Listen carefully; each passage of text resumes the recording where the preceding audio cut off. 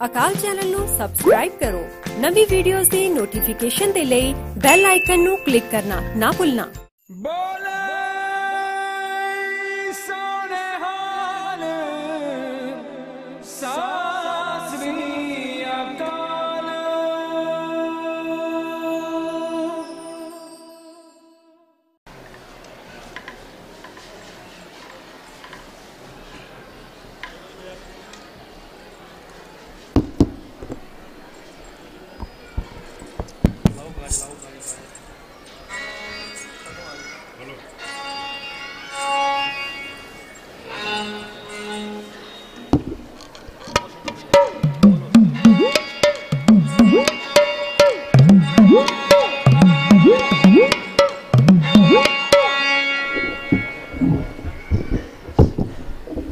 ਵਾਹਿਗੁਰੂ ਵਾਹਿਗੁਰੂ। ਵਾਹਿਗੁਰੂ। ਵਾਹਿਗੁਰੂ ਵਾਹਿਗੁਰੂ।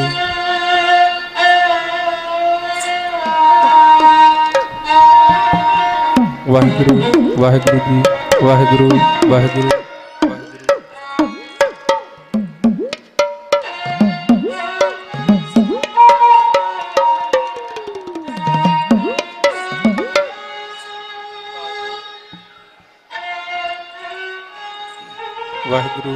ਵਾਹਿਗੁਰੂ ਜੀ ਵਾਹਿਗੁਰੂ ਵਾਹਿਗੁਰੂ ਵਾਹਿਗੁਰੂ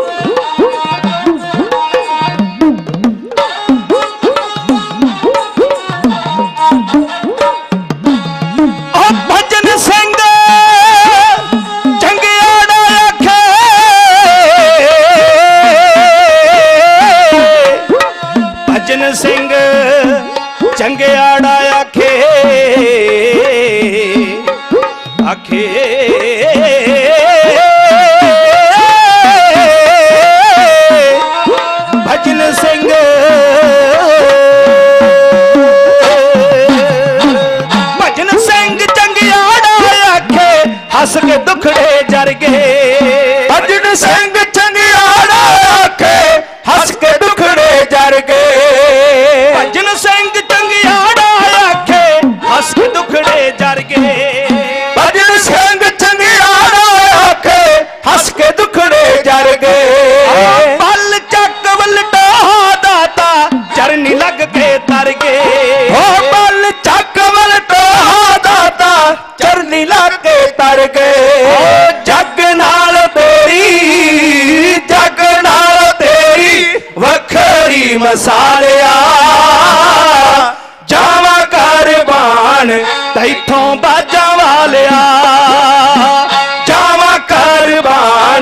ਮਾਹੀ ਨੀਲੇ ਵਾਲਿਆ।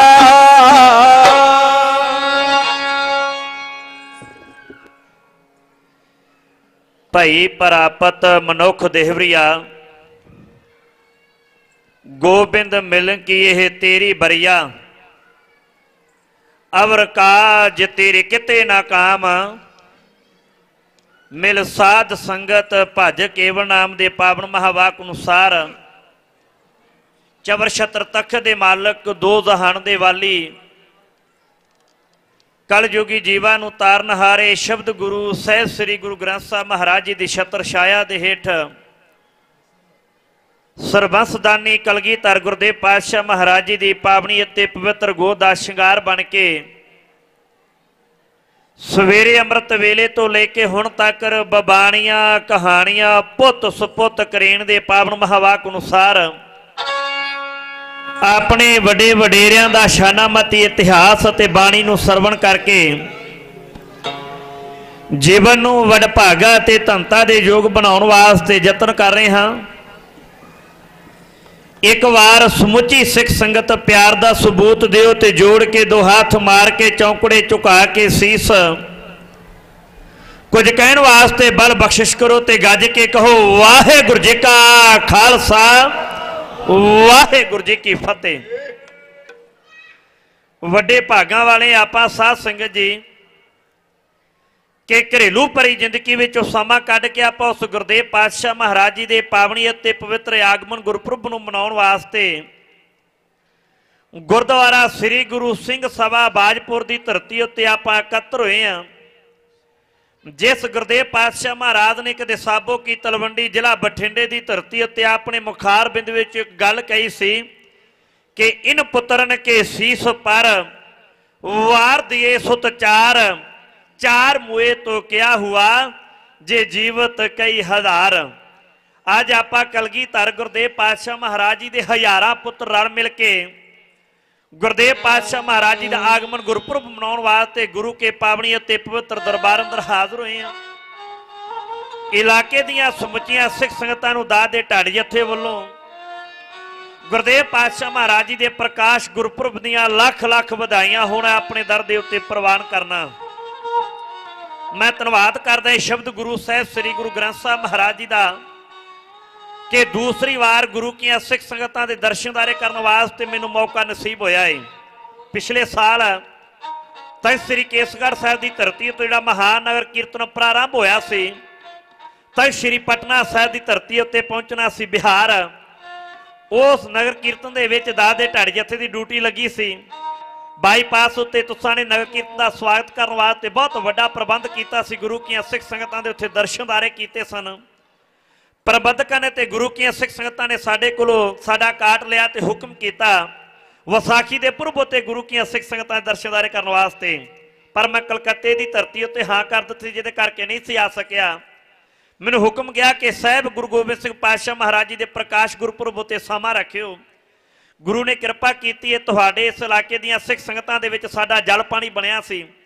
ਜਿਹਦੇ ਕਾਰਨ ਕਰਕੇ ਆ ਸਿੱਖ ਸੰਗਤਾਂ ਦੇ ਦਰਸ਼ਨਦਾਰੇ ਕਰਨ ਵਾਸਤੇ ਗੁਰੂ ਕੇ ਪਾਵਨੀ ਅਤੇ ਪਵਿੱਤਰ ਦਰਬਾਰ ਅੰਦਰ ਹਾਜ਼ਰ ਹੋਏ ਆ ਕੁਝ ਵੀਰਾਂ ਵੱਲੋਂ ਹੁਕਮ ਲੱਗਾ, ਸਵੇਰ ਤੋਂ ਲੈ ਕੇ ਹੁਣ ਤੱਕ ਰਗੀ ਧਰ ਗੁਰਦੇਵ ਪਾਤਸ਼ਾਹ ਮਹਾਰਾਜ ਜੀ ਦੇ ਪ੍ਰਕਾਸ਼ ਗੁਰਪੁਰਬ ਉਤੇ ਹਰ ਇੱਕ ਵਿਦਵਾਨ ਨੇ ਚਰਚਾ ਕੀਤੀ ਏ।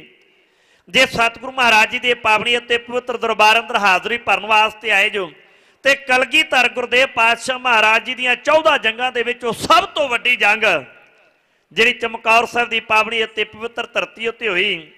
ਗੁਰੂ ਕੀਆਂ ਸਿੱਖ ਸੰਗਤਾਂ ਦੇ ਨਾਲ ਉਸ ਇਤਿਹਾਸ ਦੇ ਪੱਤਰੇ ਸਾਂਝੇ ਕੀਤੇ ਜਾਣ। ਹੁਕਮ ਗੁਰੂ ਕੀਆਂ ਸਿੱਖ ਸੰਗਤਾਂ ਦਾ ਸਿਰ ਮੱਥੇ ਉੱਤੇ ਪ੍ਰਵਾਨ। ਗੁਰਦੇਵ ਪਾਤਸ਼ਾਹ ਮਹਾਰਾਜ ਜੀ ਦੇ ਪਾਵਨੀ ਅਤੇ ਪਵਿੱਤਰ ਦਰਬਾਰ ਅੰਦਰ ਆਪਣੀਆਂ ਮਨ ਬਿਰਤੀਆਂ ਨੂੰ ਜੋੜਨਾ ਕਰੋ।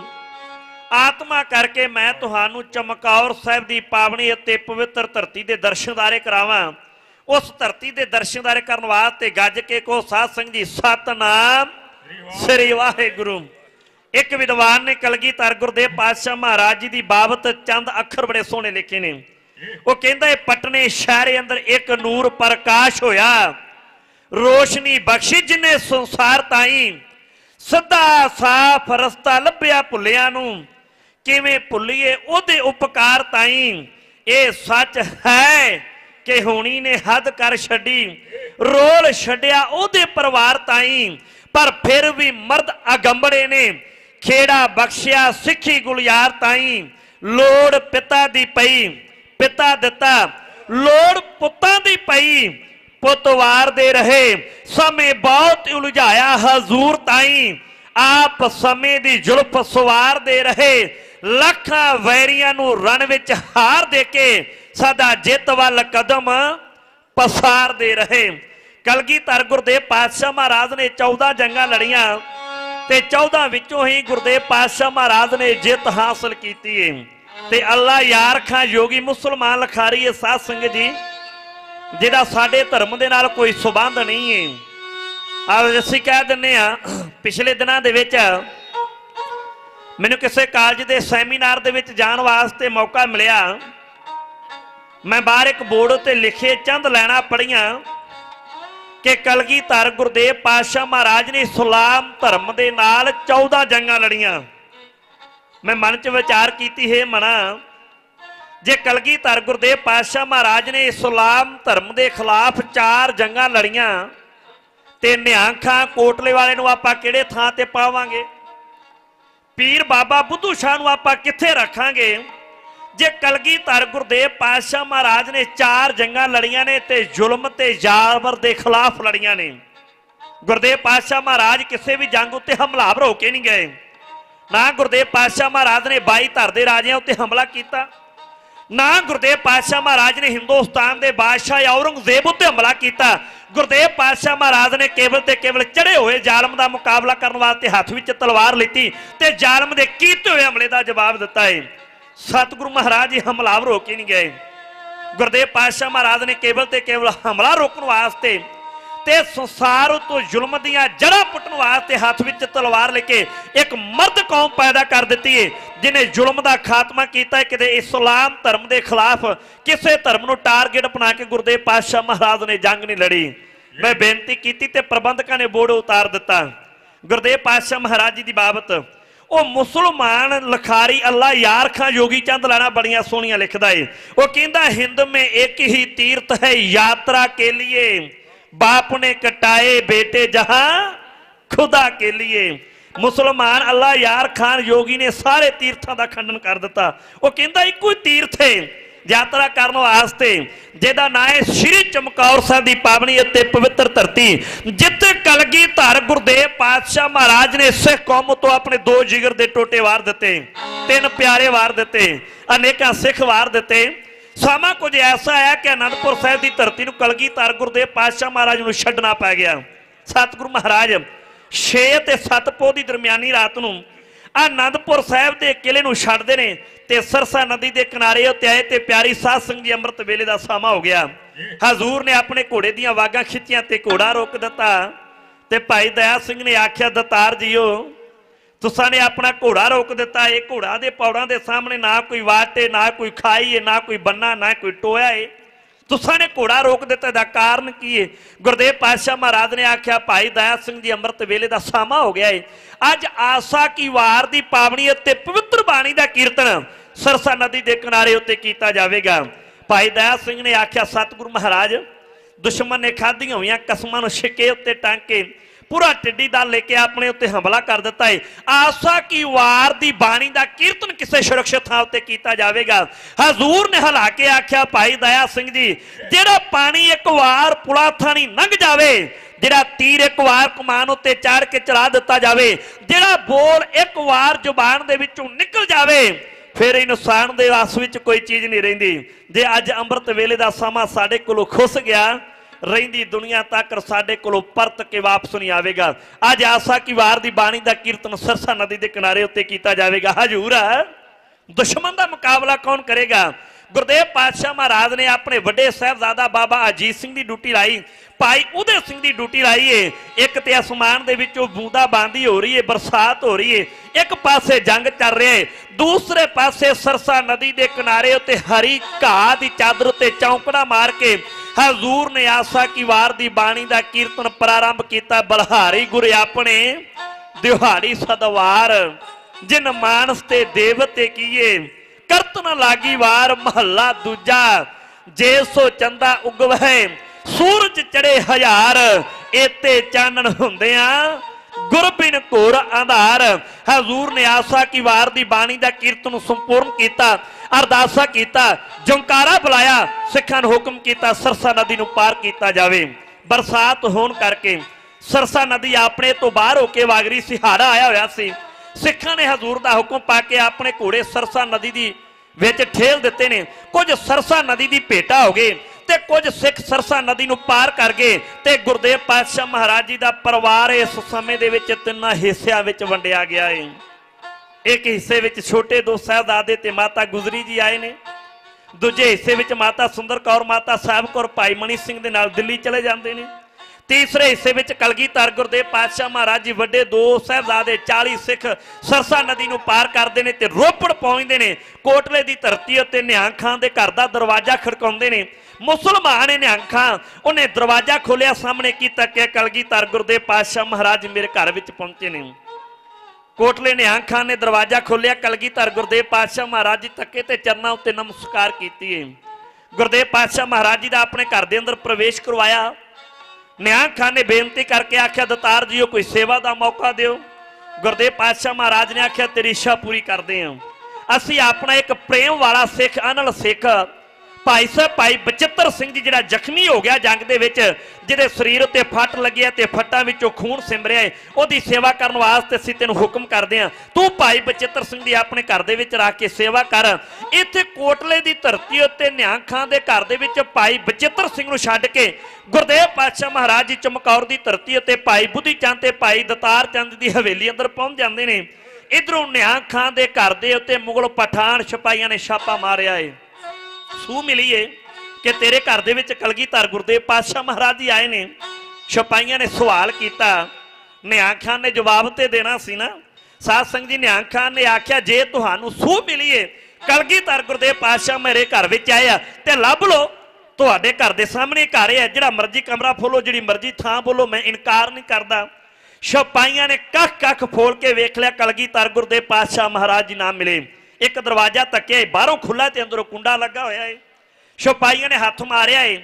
ਅੰਦਰੋਂ ਦਰਵਾਜ਼ਾ ਬੰਦ ਏ ਤੇ ਸਿਪਾਹੀਆਂ ਦਾ ਮੱਥਾ ਠਣਕਿਆ, ਕਲਗੀਧਰ ਗੁਰਦੇਵ ਪਾਤਸ਼ਾਹ ਮਹਾਰਾਜ ਇਸ ਕਮਰੇ ਵਿੱਚ ਆਉਣਗੇ। ਜਰਨੈਲ ਸਿਪਾਹੀ ਨੇ ਸਾਹਮਣੇ ਆ ਕੇ ਆਖਿਆ, ਨਿਹੰਗ ਖਾਨ ਜੀ, ਆ ਕਮਰਾ ਖੜਾਓ, ਦਰਵਾਜ਼ਾ ਖੜਾਓ ਤੇ ਇਸ ਦਰਵਾਜ਼ੇ ਸੇ ਤਲਾਸ਼ੀ ਲੈਣੀ ਹੈ ਸਾਨੂੰ ਅੰਦਾਜ਼ਾ ਹੈ ਕਲਗੀਧਰ ਗੁਰਦੇਵ ਪਾਤਸ਼ਾਹ ਮਹਾਰਾਜ ਇਸ ਕਮਰੇ ਵਿੱਚ ਬੈਠੇ ਹੋਣਗੇ ਤੇ ਨਿਹੰਗ ਖਾਨ ਸੋਚਦਾ ਹੁਣ ਕੀਤਾ ਕੀ ਜਾਵੇ। ਇਸ ਕਮਰੇ ਦੇ ਅੰਦਰ ਤੇ ਕਲਗੀਧਰ ਗੁਰਦੇਵ ਪਾਤਸ਼ਾਹ ਮਹਾਰਾਜ ਜੀ ਦਾ ਬਹਾਦਰ ਸਿੱਖ ਭਾਈ ਬਚਿੱਤਰ ਸਿੰਘ ਜ਼ਖਮੀ ਪਿਆ ਏ, ਜਿਹਦੀ ਸੇਵਾ ਤੇ ਸੰਭਾਲ ਮੇਰੀ ਧੀ ਬੀਬੀ ਮਮਤਾਜ ਕਰ ਰਹੀ ਹੁਣ ਕਰਾਂ ਕੀ?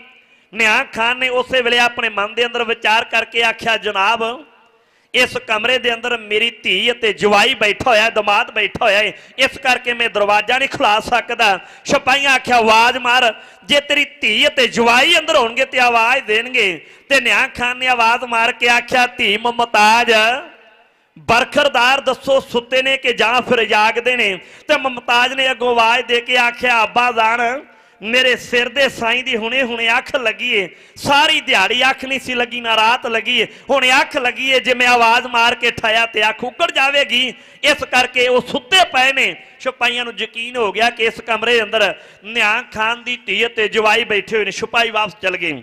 ਤੁਹਾਨੂੰ ਪਤਾ ਹੋਣਾ ਚਾਹੀਦਾ ਏ, ਸਿਆਣੇ ਤੇ ਸੂਝਵਾਨ ਸੰਗਤੇ ਪਹਾੜੀ ਨਦੀਆਂ ਦੀ ਕੁਝ ਫਿਤਰਤ ਹੁੰਦੀ ਏ। ਜੇ ਬਰਸਾਤ ਹੋਵੇ ਤੇ ਉਹਨਾਂ ਵਿੱਚ ਪਾਣੀ ਆਉਂਦਾ, ਜਦੋਂ ਬਰਸਾਤ ਠਿਲ ਜਾਵੇ ਤੇ ਪਹਾੜੀ ਨਦੀਆਂ ਦਾ ਪਾਣੀ ਜਿਹੜਾ ਨਿਵਾਨ ਵਾਲੇ ਪਾਸੇ ਨੂੰ ਹੋ ਜਾਂਦਾ ਹੈ ਜਦੋਂ ਪਾਣੀ ਨੀਵਾ ਹੋਇਆ, ਵਜ਼ੀਰ ਖਾਂ ਸੂਬੇ ਸਰਹੰਦ ਦੀ ਫੌਜ ਨੇ ਸਰਸਾ ਨਦੀ ਨੂੰ ਪਾਰ ਕੀਤਾ ਤੇ 10 ਲੱਖ ਫੌਜ ਲੈ ਕੇ ਚਮਕੌਰ ਦੀ ਕੱਚੀ ਹਵੇਲੀ ਨੂੰ ਘੇਰਾ ਪਾ ਲਿਆ ਏ।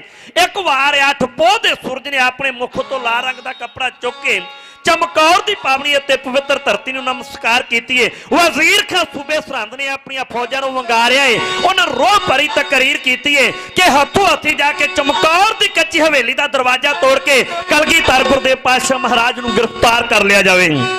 ਵਜ਼ੀਰ ਖਾਨ ਦੀ ਰੋਹ ਭਰੀ ਵੰਗਾਰ ਉੱਤੇ ਕੁਝ ਫੌਜਾਂ ਦੀਆਂ ਕਤਾਰਾਂ ਅੱਗੇ ਵਧੀਆਂ, ਟੁਕੜੀਆਂ ਅੱਗੇ ਵਧੀਆਂ ਚਮਕੌਰ ਦੀ ਕੱਚੀ ਹਵੇਲੀ ਦਾ ਦਰਵਾਜ਼ਾ ਤੋੜਨ ਵਾਸਤੇ ਕਲਗੀਧਰ ਗੁਰਦੇਵ ਪਾਤਸ਼ਾਹ ਮਹਾਰਾਜ ਨੇ ਵਾਦੀ ਹੋਈ, ਫੌਜ ਨੂੰ ਤੱਕਿਆ ਤੇ ਸਤਿਗੁਰੂ ਮਹਾਰਾਜ ਨੇ ਆਗਿਆ ਦਿੱਤੀ ਏ। ਸੂਰਬੀਰ ਬਹਾਦਰ ਯੋਧਿਆਂ ਨੇ ਇੱਕ ਵਾਰ ਵਾਦੀ ਹੋਈ, ਫੌਜ ਜਿਹੜੀ ਚਮਕੌਰ ਦੀ ਕੱਚੀ ਹਵੇਲੀ ਵੱਲ ਨੂੰ ਸੀ, ਉਹਨਾਂ ਉੱਤੇ ਤੀਰਾਂ ਦਾ ਮੀਂਹ ਬਰਸਾ ਦਿੱਤਾ, ਗੋਲੀਆਂ ਦਾ ਮੀਂਹ ਬਰਸਾ ਦਿੱਤਾ, ਮੂਰਲੀਆਂ ਕਤਾਰਾ ਸਾਧ ਸਿੰਘ ਜੀ ਜ਼ਮੀਨ ਉੱਤੇ ਵਿਛ ਗਿਆ ਜਿਵੇਂ ਸੁਸਰੀ ਪਈ ਹੁੰਦੀ ਏ।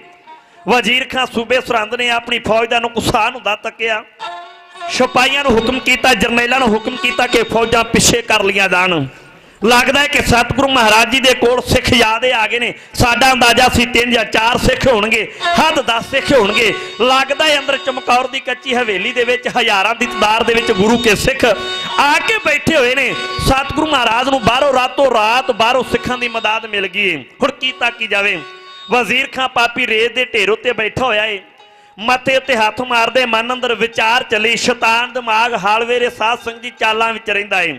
ਕਿਹੜੀ ਚਾਲ ਚੱਲਣੀ ਹੈ ਪਿੰਡ ਦਾ ਨੁਕਸਾਨ ਕਿੱਦਾਂ ਕਰਨਾ ਏ? ਫਲਾਣੇ ਭਾਊ ਦੀ ਫਲਾਣੀ ਲੜਾਈ ਕਿਸ ਤਰ੍ਹਾਂ ਕਰਾਉਣੀ ਹੈ ਪਿਓ ਤੇ ਪੁੱਤ ਵਿੱਚ ਫੜ ਕਿਸ ਤਰ੍ਹਾਂ ਪਾਉਣਾ ਏ? ਭਰਾ ਭਰਾ ਦੇ ਵਿੱਚ ਲੜਾਈ ਕਿਸ ਤਰ੍ਹਾਂ ਪਾਉਣੀ ਏ? ਪਿੰਡ ਦੇ ਵਿੱਚ ਜਿਹੜਾ ਸ਼ੈਤਾਨ ਦਿਮਾਗ ਵਾਲਾ ਇਨਸਾਨ ਹੋਵੇ ਨਾ 24 ਘੰਟੇ ਵੇਲੇ ਉਹਨੇ ਇਹੋ ਕੰਮ ਕਰੀ ਜਾਣਾ ਹੈ ਵਜ਼ੀਰ ਖਾਂ ਰੇਤ ਦੇ ਢੇਰ ਉੱਤੇ ਬੈਠਾ ਏ।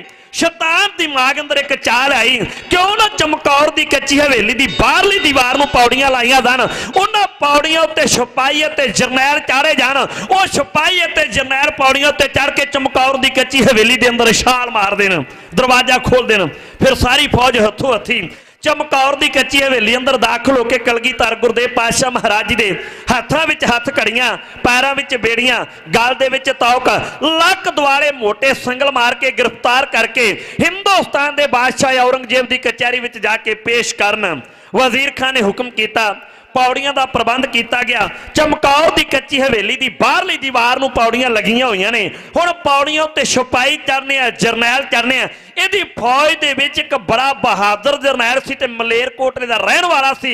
ਇਹਦਾ ਨਾਮ ਸੀ ਨਾਰ ਖਾਂ ਇਹਨੇ ਆਖਿਆ, ਵਜ਼ੀਰ ਸਭ ਤੋਂ ਪਹਿਲਾਂ ਮੈਂ ਇਸ ਪੌੜੀ ਦੇ ਡੰਡੇ ਨੂੰ ਹੱਥ ਪਾ ਕੇ ਕਲਗੀਧਰ ਗੁਰਦੇਵ ਪਾਤਸ਼ਾਹ ਮਹਾਰਾਜ ਨੂੰ ਫੜਨ ਵਾਸਤੇ ਜਾਵਾਂਗਾ। ਵਜ਼ੀਰ ਖਾਨ ਨੇ ਆਖਿਆ, ਫਿਰ ਸੋਚਦਾ ਕੀ ਹੈ ਅੱਗੇ ਵਧਿਆ ਪੌੜੀ ਦੇ ਡੰਡੇ ਨੂੰ ਹੱਥ ਪਾਇਆ ਤੇ ਅੱਲਾਹੁ ਅਕਬਰ ਦਾ ਨਾਰਾ ਲਾਇਆ।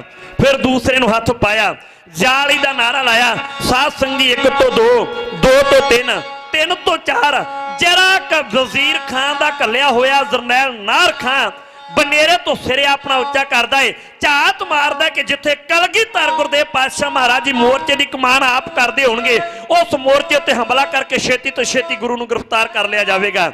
ਜਿਹੜਾ ਕ ਬਨੇਰੇ ਸਿਰ ਉੱਚਾ ਕੀਤਾ, ਚਾਰੇ ਪਾਸੇ ਝਾਤ ਮਾਰੀਏ ਸਾਹਮਣੇ ਕਲਗੀਧਰ ਗੁਰਦੇਵ ਪਾਤਸ਼ਾਹ ਮਹਾਰਾਜ ਨੇ ਵੀਰ ਆਸਣ ਲਾਇਆ ਹੋਇਆ ਏ। ਇੱਕ ਗੋਡਾ ਜ਼ਮੀਨ ਉੱਤੇ ਮੁੱਦਾ ਤੇ ਦੂਸਰਾ ਸਿੱਧਾ ਰੱਖਿਆ ਜਾਵੇ ਤੇ ਨਿਹੰਗ ਸਹਿਬਾਨ ਉਹਨੂੰ ਕਹਿੰਦੇ ਨੇ ਵੀਰ ਆਸਨ ਕਲਗੀਧਰ ਗੁਰਦੇਵ ਪਾਤਸ਼ਾਹ ਮਹਾਰਾਜ ਨੇ ਵੀਰ ਆਸਨ ਲਾਇਆ ਏ। ਉਹ ਅੰਗਾਰ ਕੇ ਆਖਿਆ ਨਾਰ ਖਾਂ।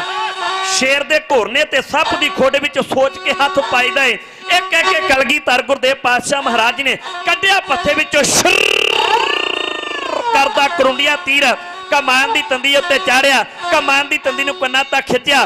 ਦੋ ਕਾਨੀਆਂ ਲਿਫ ਕੇ ਨਜ਼ਦੀਕ ਹੋਈਆਂ। ਕਰਕੇ ਗੁਰਦੇਵ ਪਾਤਸ਼ਾਹ ਮਹਾਰਾਜ ਨੇ ਅਕਾਲ ਪੁਰਖ ਪ੍ਰਮਾਤਮਾ ਨੂੰ ਯਾਦ ਕਹਿ ਕੇ ਦੁਕਾਨਗ ਪਰਨਾਸੀ ਦਿਆਲੰਗ ਸਰੂਪੇ ਸਦਾੰਗ ਸੰਗੇ। ਆ ਭੰਗ ਪੁੱਤੇ ਕਹਿ ਕੇ ਮੇਰੇ ਗੁਰਦੇਵ ਪਾਤਸ਼ਾਹ ਮਹਾਰਾਜ ਨੇ ਨਾਰ ਖਾਨ ਦੀ ਛਾਤੀ ਵਿੱਚ ਤੀਰ ਦਾ ਵਾਰ ਹੈ, ਇੰਜ ਕੀਤਾ ਜੀ।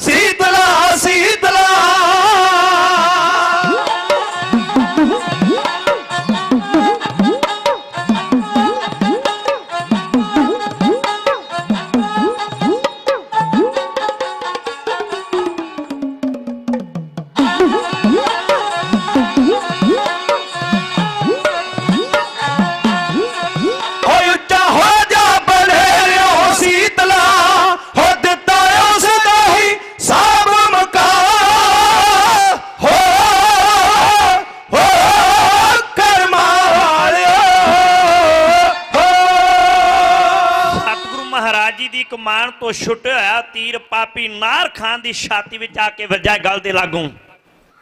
ਤੇ ਸਾਧ ਸੰਗ ਜੀ ਲੱਕ ਦੇ ਦੇ ਵਿੱਚ ਘਰੋਂ ਨਿਕਲਿਆ। ਹੁਣ ਬਹੁਤੇ ਸੋਚਦੇ ਹੋਣਗੇ, ਛਾਤੀ ਵਿੱਚ ਤੀਰ ਵੱਜਾ ਤੇ ਨਿਕਲਿਆ, ਲੱਕ ਤੋਂ ਨੀਵਾ ਹੋ ਕੇ ਦਾ ਕਾਰਨ ਕੀ? ਸੰਸਾਰ ਵਿੱਚ ਤਿੰਨ ਸ਼ਿਕਾਰੀ ਐਸੇ ਨੇ ਜਿਹੜਾ ਹਮੇਸ਼ਾ ਹੀ ਵਾਰ ਝੁੱਕ ਕੇ ਕਰਦੇ ਨੇ, ਸਿੱਧਾ ਵਾਰ ਨਹੀਂ ਕਰਦੇ। ਇੱਕ ਚੀਤਾ, ਦੂਜਾ ਬਾਜ ਤੇ ਤੀਜਾ ਕਮਾਨ। ਤੁਹਾਡੇ ਵਿੱਚੋਂ ਬਹੁਤ ਸਾਰੇ ਵੀਰ ਜਿਹੜਾ ਗਤਕਾ ਸਿੱਖਦੇ ਹੋਣਗੇ ਜਾਂ ਕਿਸੇ ਨੂੰ ਤੀਰ ਕਮਾਨ ਚਲਾਉਂਦੇ ਆ ਵੇਖਿਆ ਹੋਵੇਗਾ। ਕਮਾਨ ਤੇ ਤੀਰ ਚਾੜ ਕੇ ਜੇ ਦੁਸ਼ਮਣ ਦੀ ਛਾਤੀ ਵਿੱਚ ਵਾਰ ਕਰਨਾ ਹੈ ਤੇ ਸਿੱਧਾ ਨਹੀਂ ਨੂੰ ਝੁੱਕ ਕੇ ਕਰਨਾ ਪਵੇਗਾ। ਕਲਗੀਧਰ ਗੁਰਦੇਵ ਪਾਤਸ਼ਾਹ ਮਹਾਰਾਜ ਜੀ ਉੱਚੇ ਥਾਂ ਦੇ ਉੱਤੇ ਆ।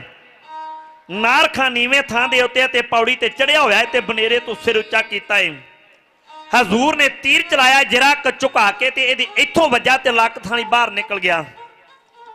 ਸਰੀਰ ਦੇ ਵਿੱਚੋਂ ਸਵਾਸਾਂ ਦਾ ਭਾਰੂ ਡਾਰੀ ਮਾਰ ਗਿਆ। ਕਬੂਤਰ ਦੇ ਵਾਂਗ ਬਾਜ਼ੀਆਂ ਪਾਉਂਦਾ ਹੋਇਆ ਨਾਰ ਖਾਂ ਜ਼ਮੀਨ ਉੱਤੇ ਧੜਮ ਕਰਕੇ ਡਿੱਗਾ। ਭਰਾ ਮਾਰਿਆ ਗਿਆ ਤੇ ਪਿਆਰੀ ਸਾਧ ਸਿੰਘ ਜੀ ਭਰਾ ਦੇ ਕਾਲ ਜਿਉਂ ਰੁਗ ਭਰਿਆ ਗਿਆ। ਗਣੀ ਖਾਂ ਮਲੇਰ ਕੋਟਲੇ ਦਾ ਦੂਸਰਾ ਪਠਾਨ। ਉਹਨੇ ਆਖਿਆ, ਵਜ਼ੀਰ ਖਾਂ, ਜੇ ਕਲਗੀਧਰ ਗੁਰਦੇਵ ਪਾਤਸ਼ਾਹ ਮਹਾਰਾਜ ਜੀ ਦੇ ਹੱਥੋਂ ਮੇਰਾ ਅੰਮਾ ਜਾਇਆ, ਵੀਰ ਨਾਰ ਖਾਂ ਨਾ ਮਾਰਿਆ ਜਾਂਦਾ, ਹੋ ਸਕਦਾ ਸੀ ਦੁਨੀਆ ਦੀ ਕੋਈ ਤਾਕਤ ਗੁਰਦੇਵ ਪਾਤਸ਼ਾਹ ਮਹਾਰਾਜ ਤੇ ਗੁਰੂ ਦੇ ਸਿੱਖਾਂ ਨੂੰ ਸਾਡੇ ਕਹਿਰ ਤੋਂ ਬਚਾ ਲੈਂਦੀ, ਮੇਰੇ ਕੋਲੋਂ ਬਚਾ ਲੈਂਦੀ। ਪਰ ਗੁਰਦੇਵ ਪਾਤਸ਼ਾਹ ਮਹਾਰਾਜ ਨੇ ਵੰਗਾਰ ਕੇ ਮੇਰੇ ਭਰਾ ਨੂੰ ਤੀਰ ਮਾਰ ਕੇ ਮਾਰਿਆ ਏ। ਮੈਂ ਆਪਣੇ ਮਰੇ ਹੋਏ ਭਰਾ ਦੀ ਮੌਤ ਦਾ ਬਦਲਾ ਲੈਣ ਵਾਸਤੇ ਚਮਕੌਰ ਦੀ ਕੱਚੀ ਹਵੇਲੀ ਦੇ ਅੰਦਰ ਪੌੜੀ ਤੇ ਚੜ ਕੇ ਚਲੇ ਸਤਿਗੁਰੂ ਮਹਾਰਾਜ ਨੂੰ ਗ੍ਰਿਫਤਾਰ ਕਰਕੇ ਬਾਹਰ ਲੈ ਕੇ ਆਵਾਂਗਾ। ਵਜ਼ੀਰ ਖਾਨ ਨੇ ਆਖਿਆ, ਫਿਰ ਪਾ ਪੌੜੀ ਦੇ ਡੰਡੇ ਨੂੰ ਹੱਥ। ਪੌੜੀ ਦੇ ਡੰਡੇ ਨੂੰ ਹੱਥ ਪਾ ਕੇ ਜਦੋਂ 1 ਤੋਂ 2 2 ਤੋਂ 3 3 ਤੋਂ 4 ਜਿਹੜਾ ਕੁ ਉੱਚਾ ਹੋਇਆ ਕਲਗੀਧਰ ਗੁਰਦੇਵ ਪਾਤਸ਼ਾਹ ਮਹਾਰਾਜ ਨੇ ਵੇਖਿਆ, ਗਣੀ ਖਾਇਆ ਏ ਗੁਰਦੇਵ ਪਾਤਸ਼ਾਹ ਮਹਾਰਾਜ ਨੇ ਇੱਕ ਤੀਰ ਚਲਾਇਆ ਏ। ਇਹਦੇ ਮੱਥੇ ਵਿੱਚ ਵੱਜਾ ਤੇ ਗਿੱਚੀ ਥਣੀ ਬਾਹਰ ਨਿਕਲ ਗਿਆ। ਇਹ ਵੀ ਪੌੜੀ ਦੇ ਉੱਤੋਂ ਕਬੂਤਰ ਦੇ ਵਾਂਗ ਪਾਜੀਆਂ ਪਾਉਂਦਾ ਆ ਜ਼ਮੀਨ ਉੱਤੇ ਡਿੱਗਾ ਏ। ਦੋ ਜਰਨੈਲ ਬਹਾਦਰ ਮਲੇਰ ਕੋਟਲੇ ਦੇ ਪਠਾਨ ਮਾਰੇ ਗਏ। ਹੁਣ ਕਿਸੇ ਵਿੱਚ ਹਿੰਮਤ ਨਹੀਂ ਪੈਂਦੀ ਪੌੜੀ ਦੇ ਡੰਡੇ ਤੇ ਚੜੇ ਕਿਹੜਾ? ਵਜ਼ੀਰ ਖਾਨ ਸਾਰੇ ਪਾਸੇ ਝਾਤ ਮਾਰਦਾ, ਇਹਦੀ ਫੌਜ ਵਿੱਚੋਂ ਕੋਈ ਵੀ ਜਰਨੈਲ ਅੱਗੇ ਵਧਣ ਵਾਸਤੇ ਤਿਆਰ ਨਹੀਂ ਹੈ ਇਹਦੀ ਫੌਜ ਦੇ ਵਿੱਚ ਮਲੇਰ ਕੋਟਲੇ ਦਾ ਤੀਸਰਾ ਮੁਗਲ ਪਠਾਨ ਜਰਨੈਲ ਹੈ, ਜਿਹਨੂੰ ਕਲਗੀਧਰ ਗੁਰਦੇਵ ਪਾਤਸ਼ਾਹ ਮਹਾਰਾਜ ਨੇ ਖਵਾਜ਼ਾ ਮਰਦੂਦ ਅਲੀ ਕਰਕੇ ਲਿਖਿਆ ਹੋਇਆ ਹੈ। ਖਵਾਜ਼ਾ ਮਰਦੂਦ ਅਲੀ ਫਿਰ ਰਿਹਾ ਸਰੀਰ ਦਾ ਭਾਰਾ ਹੈ, ਟਹਿਲਦਾ ਹੋਇਆ ਮੈਦਾਨੇ ਜੰਗ ਵਿੱਚ ਕਦੀ ਇਸ ਪਾਸੇ ਨੂੰ ਜਾਂਦਾ ਹੈ ਤੇ ਕਦੀ ਇਸ ਪਾਸੇ ਨੂੰ ਜਾ ਰਿਹਾ ਹੈ। ਵਜ਼ੀਰ ਖਾਂ ਸੂਬੇ ਸਰਹੰਦ ਨੇ ਆਵਾਜ਼ ਮਾਰ ਕੇ ਆਖਿਆ, ਖਵਾਜਾ ਸਾਹਿਬ! ਕੀ ਕਰ ਰਹੇ ਜੋ? ਵਜ਼ੀਰ ਖਾਨ ਨੇ ਆਪਣੇ ਘੋੜੇ ਨੂੰ ਅੱਡੀ ਲਾਈ ਤੇ ਖਵਾਜੇ ਮਰਦੂਦ ਅਲੀ ਦੇ ਕੋਲ ਆ ਗਿਆ। ਕੋਲ ਤਿੰਨ ਚਾਰ ਸਿਪਾਹੀ ਖਲੋਤੇ ਹੋਏ ਸਨ। ਜਦੋਂ ਕਿਸੇ ਨੂੰ ਮਾਰਨਾ ਹੋਵੇ ਤੇ ਸਾਧ ਸੰਗਤ ਜੀ ਦੋ ਰਿਸ਼ਤੇਦਾਰੀਆਂ ਮਾਰਦੀਆਂ ਨੇ। ਇੱਕ ਭਰਾ ਤੇ ਦੂਜਾ ਯਾਰ। ਇਹ ਦੋ ਇਨਸਾਨ ਉੱਤੇ ਮਾਰੂ ਕਿਵੇਂ ਇਹ ਦੋ ਹੀ ਰਿਸ਼ਤੇਦਾਰੀਆਂ ਸੰਸਾਰ ਉੱਤੇ ਇਨਸਾਨ ਨੂੰ ਮੌਤ ਦੇ ਘਾਟ ਕਿਉਂ ਉਤਾਰਦੀਆਂ ਨੇ? ਇਹ ਦੋ ਹੀ ਰਿਸ਼ਤੇਦਾਰੀਆਂ ਸੰਸਾਰ ਵਿੱਚ ਵਿਚਰਦੇ ਇਨਸਾਨ ਦਾ ਨੁਕਸਾਨ ਕਿਉਂ ਕਰਦੀਆਂ ਨੇ? ਕਿਉਂਕਿ ਵਿਦਵਾਨ, ਵਿਦਵਾਨਾਂ ਦੀ ਕਹਾਵਤ ਤੇ ਸਿਆਣਿਆਂ ਦੇ ਬਚਨ ਨੇ, ਘਰ ਦਾ ਭੇਤੀ ਲੈਂਕਾ ਢਾਵੇ। ਕਿਉਂਕਿ ਭਰਾ ਵੀ ਘਰ ਦਾ ਭੇਤੀ ਹੁੰਦਾ ਏ ਤੇ ਯਾਰ ਨੂੰ ਵੀ ਘਰ ਦਾ ਭੇਤ ਕੋਈ ਸੰਸਾਰ ਵਿੱਚ ਲੋਕ ਦੇ ਦਿਆ ਕਰਦੇ ਨੇ, ਜਿਹਦੇ ਨਾਲ ਆਪਾਂ ਪੱਗ ਵਟਾ ਦਿੰਨੇ ਆ। ਫਿਰ ਪੱਗ ਵਟ ਯਾਰ ਇਨਸਾਨ ਦੀ ਪਿੱਠ ਵਿੱਚ ਛੁਰਾ ਮਾਰਦਾ ਏ। ਖਵਾਜੇ ਮਰਦੂਦ ਅਲੀ ਦੇ ਕੋਲ ਦੋ ਮੁਗਲ ਪਠਾਨ ਖਲੋਤੇ ਹੋਏ ਸਨ। ਉਹਨਾਂ ਆਖਿਆ, ਵਜ਼ੀਰ ਸਾਹਿਬ ਜੀ, ਕਰਨਾ ਕੀ ਏ? ਖਵਾਜਾ ਮਰਦੂਦ ਅਲੀ ਆਪਣੇ ਘਰ ਦੇ ਵਿੱਚ ਬੈਠਾ ਏ ਤੇ ਕੁਰਾਨ ਦੀ ਕਸਮ ਖਾ ਕੇ ਆਪਣੀ ਘਰਵਾਲੀ ਨੂੰ ਕਹਿੰਦਾ ਸੀ ਕਿ ਮੈਂ ਚੱਲਿਆ ਕਲਗੀਧਰ ਗੁਰਦੇਵ ਪਾਤਸ਼ਾਹ ਮਹਾਰਾਜ ਨੂੰ ਫੜਨ ਵਾਸਤੇ ਸ਼੍ਰੀ ਅਨੰਦਪੁਰ ਸਾਹਿਬ ਦੀ ਧਰਤੀ ਤੋਂ। ਮੇਰੇ ਤੋਂ ਬਗੈਰ ਕਿਸੇ ਨੇ ਕਲਗੀਧਰ ਗੁਰਦੇਵ ਪਾਤਸ਼ਾਹ ਮਹਾਰਾਜ ਨੂੰ ਫੜਨਾ ਨਹੀਂ ਤੇ ਮੈਂ ਗੁਰੂ ਨੂੰ ਫੜ ਕੇ ਹਿੰਦੁਸਤਾਨ ਦੇ ਬਾਦਸ਼ਾਹ ਦੀ ਕਚਹਿਰੀ ਵਿੱਚ ਜਾ ਕੇ ਪੇਸ਼ ਕਰਾਂਗਾ। ਮੇਰੇ ਤੋਂ ਪਹਿਲਾਂ ਗਿਆਨੀ ਹਰਪ੍ਰੀਤ ਸਿੰਘ ਜੀ ਪ੍ਰਚਾਰਕ ਗੱਲ ਕਰ ਰਹੇ ਸਨ। ਸੰਸਾਰ ਵਿੱਚ ਕੋਈ ਇਨਸਾਨ ਐਸੇ ਵੀ ਹੁੰਦੇ ਨੇ, ਘਰ ਦੇ ਵਿੱਚ ਜਾ ਕੇ ਆਪਣੇ ਮਾਤਾ ਪਿਤਾ ਤੇ ਰੋਹ ਪਾਉਣ ਦਾ ਯਤਨ ਕਰਦੇ ਆ। ਜਦੋਂ ਮਾਤਾ ਪਿਤਾ ਉਹਦਾ ਰੋਹ ਨਹੀਂ ਮੰਨਦੇ ਫਿਰ ਬੱਚਿਆਂ ਤੇ ਰੋਹ ਪਾਉਂਦਾ ਏ।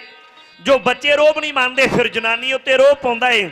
ਜਦੋਂ ਜਨਾਨੀ ਰੋਹ ਨਹੀਂ ਮੰਨਦੀ, ਫਿਰ ਪਿੰਡ ਵਾਲਿਆਂ ਤੇ ਰੋਹ ਪਾਉਂਦਾ ਏ। ਪਿੰਡ ਵਾਲੇ ਵੀ ਨਹੀਂ ਮੰਨਦੇ, ਇਲਾਕੇ ਦੇ ਵੀ ਨਹੀਂ ਮੰਨਦੇ। ਤੇ ਫਿਰ ਸੋਚਦਾ ਰੋ ਪਾਇਆ ਤੇ ਪਾਇਆ ਕਿੱਥੇ ਜਾਵੇ, ਫਿਰ ਗੁਰੂ ਘਰ ਦੇ ਵਿੱਚ ਮੱਥਾ ਟੇਕਣ ਵਾਸਤੇ ਆ ਜਾਂਦਾ ਏ। ਮੱਥਾ ਟੇਕਦਾ ਏ, ਗੁਰੂ ਘਰ ਦਾ ਗ੍ਰੰਥੀ ਪ੍ਰਸ਼ਾਦ ਦਿੰਦਾ ਏ। ਭਾਉ ਪ੍ਰਸ਼ਾਦ ਚਾਹ ਕੇ ਕਹਿੰਦਾ ਏ, ਭਾਈ ਸਾਹਿਬ ਜੀ, ਕੀਤਾ ਕੀ ਜੋ ਅੱਜ ਤੁਸੀਂ ਪ੍ਰਸ਼ਾਦ ਦੇ ਵਿੱਚ ਪਾਣੀ ਘੱਟ ਪਾਇਆ? ਠੰਡ ਘੱਟ ਪਾਈ ਏ। ਗੁਰੂ ਸਾਹਿਬ ਤਿਰਮਾਲਾ ਤੁਸਾਂ ਨੇ ਸਹੀ ਨਹੀਂ ਦਿੱਤਾ। ਸਾਹਮਣੇ ਗੋਲ ਕਲਾਈ, ਗੋਲ ਕਲਾ ਕੇ ਚਾਦਰ ਨਹੀਂ ਵਿਛਾਈ, ਜਿਹੜੀ ਕਦੇ ਨਹੀਂ ਚੱਲਦੀ। ਉਹ ਗੁਰੂ ਘਰ ਦੇ ਵਿੱਚ ਆ ਕੇ ਸਾਧ ਸੰਗਤ ਜੀ ਚਲਾਉਣ ਦਾ ਯਤਨ ਕਰਦਾ ਏ। ਹੁਣ ਖਵਾਜਾ ਮਰਦੂਦ ਅਲੀ ਦੀ ਚੱਲੀ ਕਦੇ ਨਾ, ਉਹ ਆਪਣੀ ਘਰ ਵਾਲੀ ਤੇ ਚਲਾਉਣ ਲੱਗਾ ਕਿ ਮੈਂ ਕਲਗੀ ਧਰ ਗੁਰਦੇਵ ਪਾਤਸ਼ਾਹ ਮਹਾਰਾਜ ਨੂੰ ਫੜ ਕੇ ਆਵਾਂਗਾ।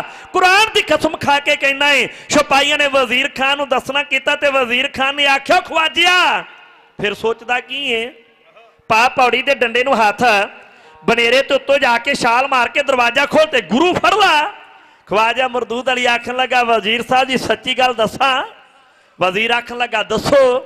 ਆਖਣ ਲੱਗਾ, ਵਜ਼ੀਰ ਸਾਹਿਬ ਜੀ, ਕਲਗੀਧਰ ਗੁਰਦੇਵ ਪਾਤਸ਼ਾਹ ਮਹਾਰਾਜ ਨੂੰ ਫੜਨਾ ਨਾ ਤੇ ਤੁਹਾਡੇ ਵਾਸ ਦੀ ਗੱਲ ਏ ਤੇ ਨਾ ਸਾਡੇ ਵਾਸ ਦੀ ਗੱਲ ਏ। ਜੇ ਕਲਗੀ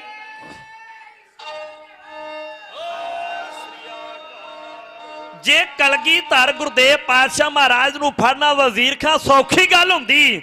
ਸ਼੍ਰੀ ਆਨੰਦਪੁਰ ਸਾਹਿਬ ਦੀ ਧਰਤੀ ਨੂੰ ਆਪਾਂ 8 ਮਹੀਨੇ ਘੇਰਾ ਪਾ ਕੇ ਬੈਠੇ ਰਹੇ। ਤੇ ਪਿਆਰੀ ਸਾਧ ਸੰਗਤ ਜੀ, ਜਿੰਨੀ ਫੌਜ ਹੈ, ਸ਼੍ਰੀ ਆਨੰਦਪੁਰ ਸਾਹਿਬ ਦੀ ਧਰਤੀ ਉੱਤੇ, ਸ਼੍ਰੀ ਚਮਕੌਰ ਸਾਹਿਬ ਦੀ ਧਰਤੀ ਉੱਤੇ ਚੜ ਕੇ ਆਈ।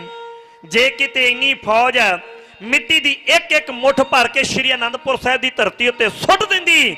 ਤੇ ਸਾਧ ਸੰਗਤ ਜੀ, ਸ਼੍ਰੀ ਆਨੰਦਪੁਰ ਸਾਹਿਬ ਮਿੱਟੀ ਥੱਲੇ ਹੀ ਦੱਬਿਆ ਜਾਣਾ ਸੀ।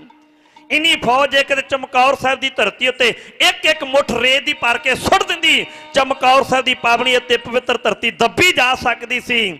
ਪਰ ਕਲਗੀਧਰ ਗੁਰਦੇਵ ਪਾਤਸ਼ਾਹ ਮਹਾਰਾਜ ਜੀ ਦੇ ਹੁੰਦਿਆਂ ਕਿਸੇ ਦੀ ਜ਼ਰੂਰਤ ਨਹੀਂ ਸੀ ਕਿ ਅੱਗੇ ਜਾ ਸਕੇ। ਖਵਾਜੇ ਮਰਦੂਦ ਅਲੀ ਨੇ ਆਖਿਆ, ਗੁਰੂ ਨੂੰ ਫੜਨਾ ਨਾ ਤੁਹਾਡੇ ਵਾਸ ਦੀ ਗੱਲ ਏ। ਨਾ ਸਾਡੇ ਵਾਸ ਦੀ ਗੱਲ ਏ। 8 ਮਹੀਨੇ ਆਨੰਦਪੁਰ ਦੀ ਧਰਤੀ ਨੂੰ ਘੇਰਾ ਪਾ ਕੇ ਬੈਠੇ ਰਹੇ। ਕੁਰਾਨ ਦੀ ਕਸਮ ਖਾਦੀ ਆਟੇ ਦੀ ਗਊ ਦੀ ਕਸਮ ਖਾ ਕੇ ਗੁਰੂ ਕੋਲ ਅਨੰਦਪੁਰ ਦਾ ਕਿਲਾ ਖਾਲੀ ਕਰਾਇਆ ਤੇ ਸਤਿਗੁਰੂ ਮਹਾਰਾਜ ਨੇ ਸਾਡੀਆਂ ਖਾਧੀਆਂ ਹੋਈਆਂ। ਝੂਠੀਆਂ ਕਸਮਾਂ ਉੱਤੇ ਇਤਬਾਰ ਕਰਕੇ ਅਨੰਦਪੁਰ ਦਾ ਕਿਲਾ ਛੱਡ ਦਿੱਤਾ।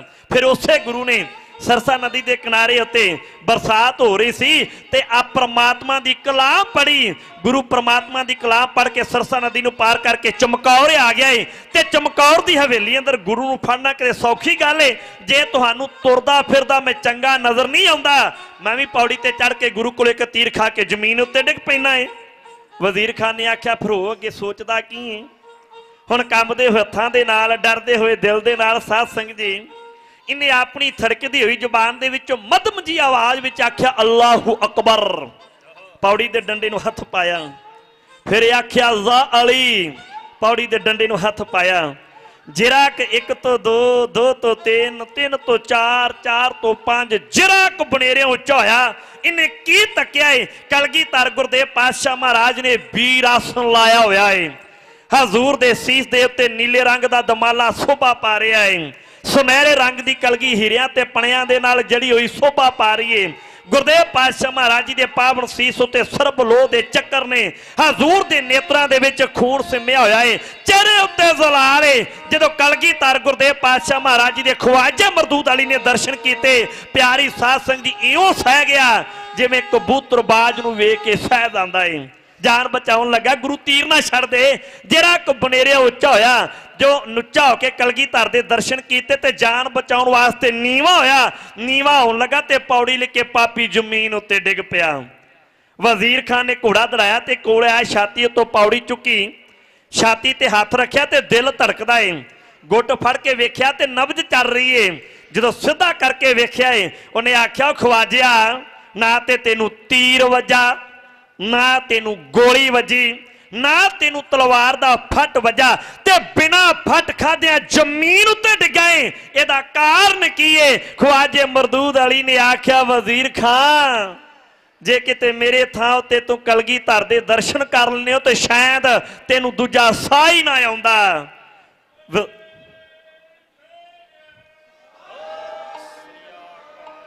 ਵਜ਼ੀਰ ਖਾਨ ਨੇ ਆਖਿਆ, ਵਾਕਿਆ ਹੁਣ ਗੁਰੂ ਨੂੰ ਫੜਨਾ ਸੌਖੀ ਗੱਲ ਨਹੀਂ ਫੌਜਾਂ ਪਿੱਛੇ ਹਟਾ ਕੇ ਤੇ ਸ਼ੈਤਾਨ ਦਿਮਾਗ ਨਾਲ ਹੋਰ ਚਾਲਾਂ ਚੱਲਣ ਵਾਸਤੇ ਆਪਣੇ ਮਨ ਦੇ ਨਾਲ ਵਿਚਾਰਾਂ ਕਰਦਾ ਏ। ਇਧਰੋਂ ਕਲਗੀਧਰ ਗੁਰਦੇਵ ਪਾਤਸ਼ਾਹ ਮਹਾਰਾਜ ਨੇ ਚਮਕੌਰ ਦੀ ਕੱਚੀ ਹਵੇਲੀ ਦੇ ਵਿੱਚ ਪੰਜਾਂ ਪਿਆਰਿਆਂ ਦੇ ਵਿੱਚੋਂ ਭਾਈ ਸਾਹਿਬ ਭਾਈ ਹਿੰਮਤ ਸਿੰਘ ਨੂੰ ਆਵਾਜ਼ ਮਾਰੀਏ ਭਾਈ ਸਾਹਿਬ ਭਾਈ ਹਿੰਮਤ ਸਿੰਘ ਕਲਗੀਧਰ ਗੁਰਦੇਵ ਪਾਤਸ਼ਾਹ ਮਹਾਰਾਜ ਜੀ ਦੇ ਮੁਬਾਰਕ ਤੇ ਪਾਵਨ ਚਰਨਾਂ 'ਚ ਹਾਜ਼ਰ ਹੋਇਆ।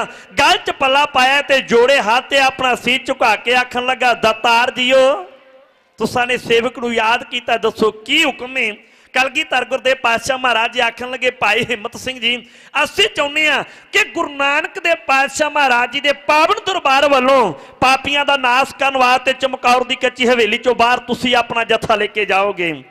ਭਾਈ ਸਾਹਿਬ, ਭਾਈ ਹਿੰਮਤ ਸਿੰਘ ਨੇ ਆਖਿਆ ਕਲਗੀਧਰ ਗੁਰਦੇਵ ਪਾਤਸ਼ਾਹ ਮਹਾਰਾਜ ਜੀ, ਜਿਹੜੀ ਗਲਤੀ ਮੈਂ ਸ਼੍ਰੀ ਆਨੰਦਪੁਰ ਸਾਹਿਬ ਦੀ ਪਾਵਨੀ ਉੱਤੇ ਪਵਿੱਤਰ ਧਰਤੀ ਉੱਤੇ 30 ਮਾਰਚ ਸਨ 1699 ਈਸਵੀ ਨੂੰ ਕੀਤੀ ਸੀ।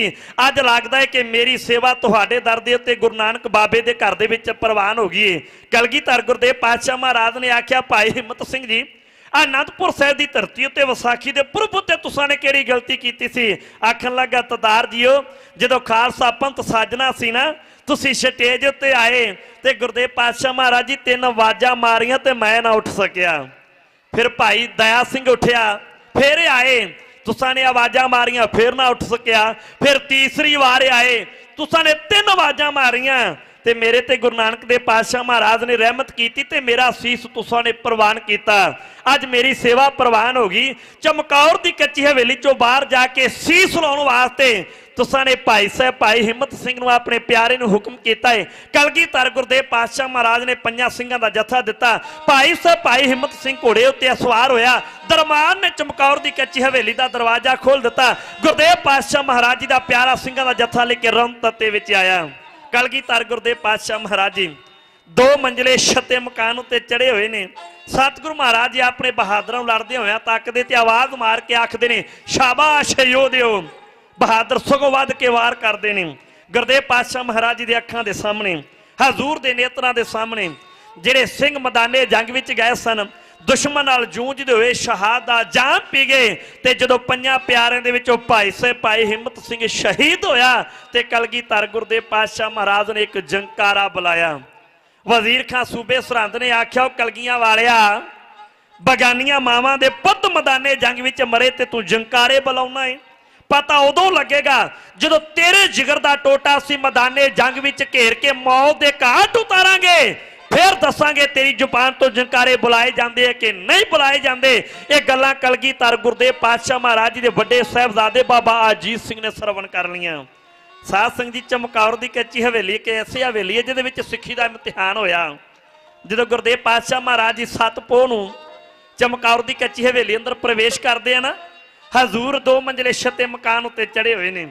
ਗੁਰਦੇਵ ਪਾਤਸ਼ਾਹ ਮਹਾਰਾਜ ਜੀ ਆਪਣੇ ਪੈਰ ਦੀ ਅੱਡੀ ਮਾਰ ਕੇ ਇਸ ਮਕਾਨ ਦੀ ਛੱਤ ਨੂੰ ਚੈੱਕ ਕਰਦੇ ਨੇ ਤੇ ਭਾਈ ਦਇਆ ਸਿੰਘ ਜੀ ਆਖਣ ਲੱਗੇ, ਦਤਾਰ ਜੀਓ, ਨਨਕਾਣਾ ਸਾਹਿਬ ਦੀ ਧਰਤੀ ਨਾਲੋਂ, ਪਟਨਾ ਸਾਹਿਬ ਦੀ ਧਰਤੀ ਦੇ ਨਾਲੋਂ, ਆਨੰਦਪੁਰ ਸਾਹਿਬ ਦੀ ਧਰਤੀ ਦੇ ਨਾਲੋਂ, ਚਮਕੌਰ ਦੀ ਕੱਚੀ ਹਵੇਲੀ ਨਾਲ ਕੋਈ ਜ਼ਿਆਦਾ ਪਿਆਰ ਏ।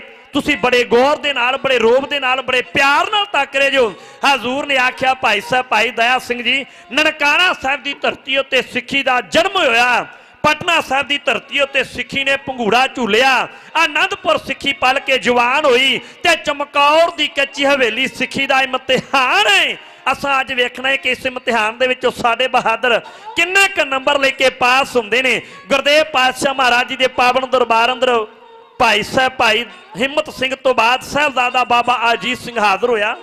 ਗੱਲ 'ਚ ਪੱਲਾ ਪਾ ਕੇ ਕਲਗੀਧਰ ਗੁਰਦੇਵ ਪਾਤਸ਼ਾਹ ਮਹਾਰਾਜ ਜੀ ਦੇ ਸਨਮੁਖ ਚਰਨਾਂ ਉੱਤੇ ਸੀਸ ਝੁਕਾ ਕੇ ਇੱਕ ਬੇਨਤੀ ਕਰਨ ਲੱਗਾ ਏ। ਗੁਰਦੇਵ ਪਾਤਸ਼ਾਹ ਮਹਾਰਾਜ ਜੀ ਨੇ ਆਖਿਆ, ਦੱਸੋ ਸਾਹਿਬਜ਼ਾਦਾ ਅਜੀਤ ਸਿੰਘ ਜੀ ਕੀ ਲੈਣ ਵਾਸਤੇ ਆਏ ਜੋ? ਬਾਬਾ ਅਜੀਤ ਸਿੰਘ ਨੇ ਆਖਿਆ, ਕਲਗੀਧਰ ਗੁਰਦੇਵ ਪਾਤਸ਼ਾਹ ਮਹਾਰਾਜ ਜੀ, ਕਿਰਪਾ ਕਰੋ, ਰਹਿਮਤ ਕਰੋ, ਮੇਰੇ ਉੱਤੇ ਨਜ਼ਰ ਸਵੱਲੀ ਕਰ ਦਿਓ। ਗੁਰਦੇਵ ਪਾਤਸ਼ਾਹ ਮਹਾਰਾਜ ਨੇ ਆਖਿਆ, ਤੁਸੀਂ ਤੇ ਬੇਟੇ ਜੋ ਤੁਹਾਡੇ ਉੱਤੇ ਤੇ ਗੁਰੂ ਨਾਨਕ ਦੇ ਪਾਤਸ਼ਾਹ ਮਹਾਰਾਜ ਜੀ ਦੇ ਦਰਬਾਰ ਦੀ ਨਜ਼ਰ ਸਵੱਲੀ ਹੈ, ਸਿੱਖਾਂ ਉੱਤੇ ਵੀ ਨਜ਼ਰ ਸਵੱਲੀ ਹੈ। ਤੁਸੀਂ ਦੱਸੋ, ਕਹਿਣਾ ਕੀ ਚਾਹੁੰਦੇ ਜੋ?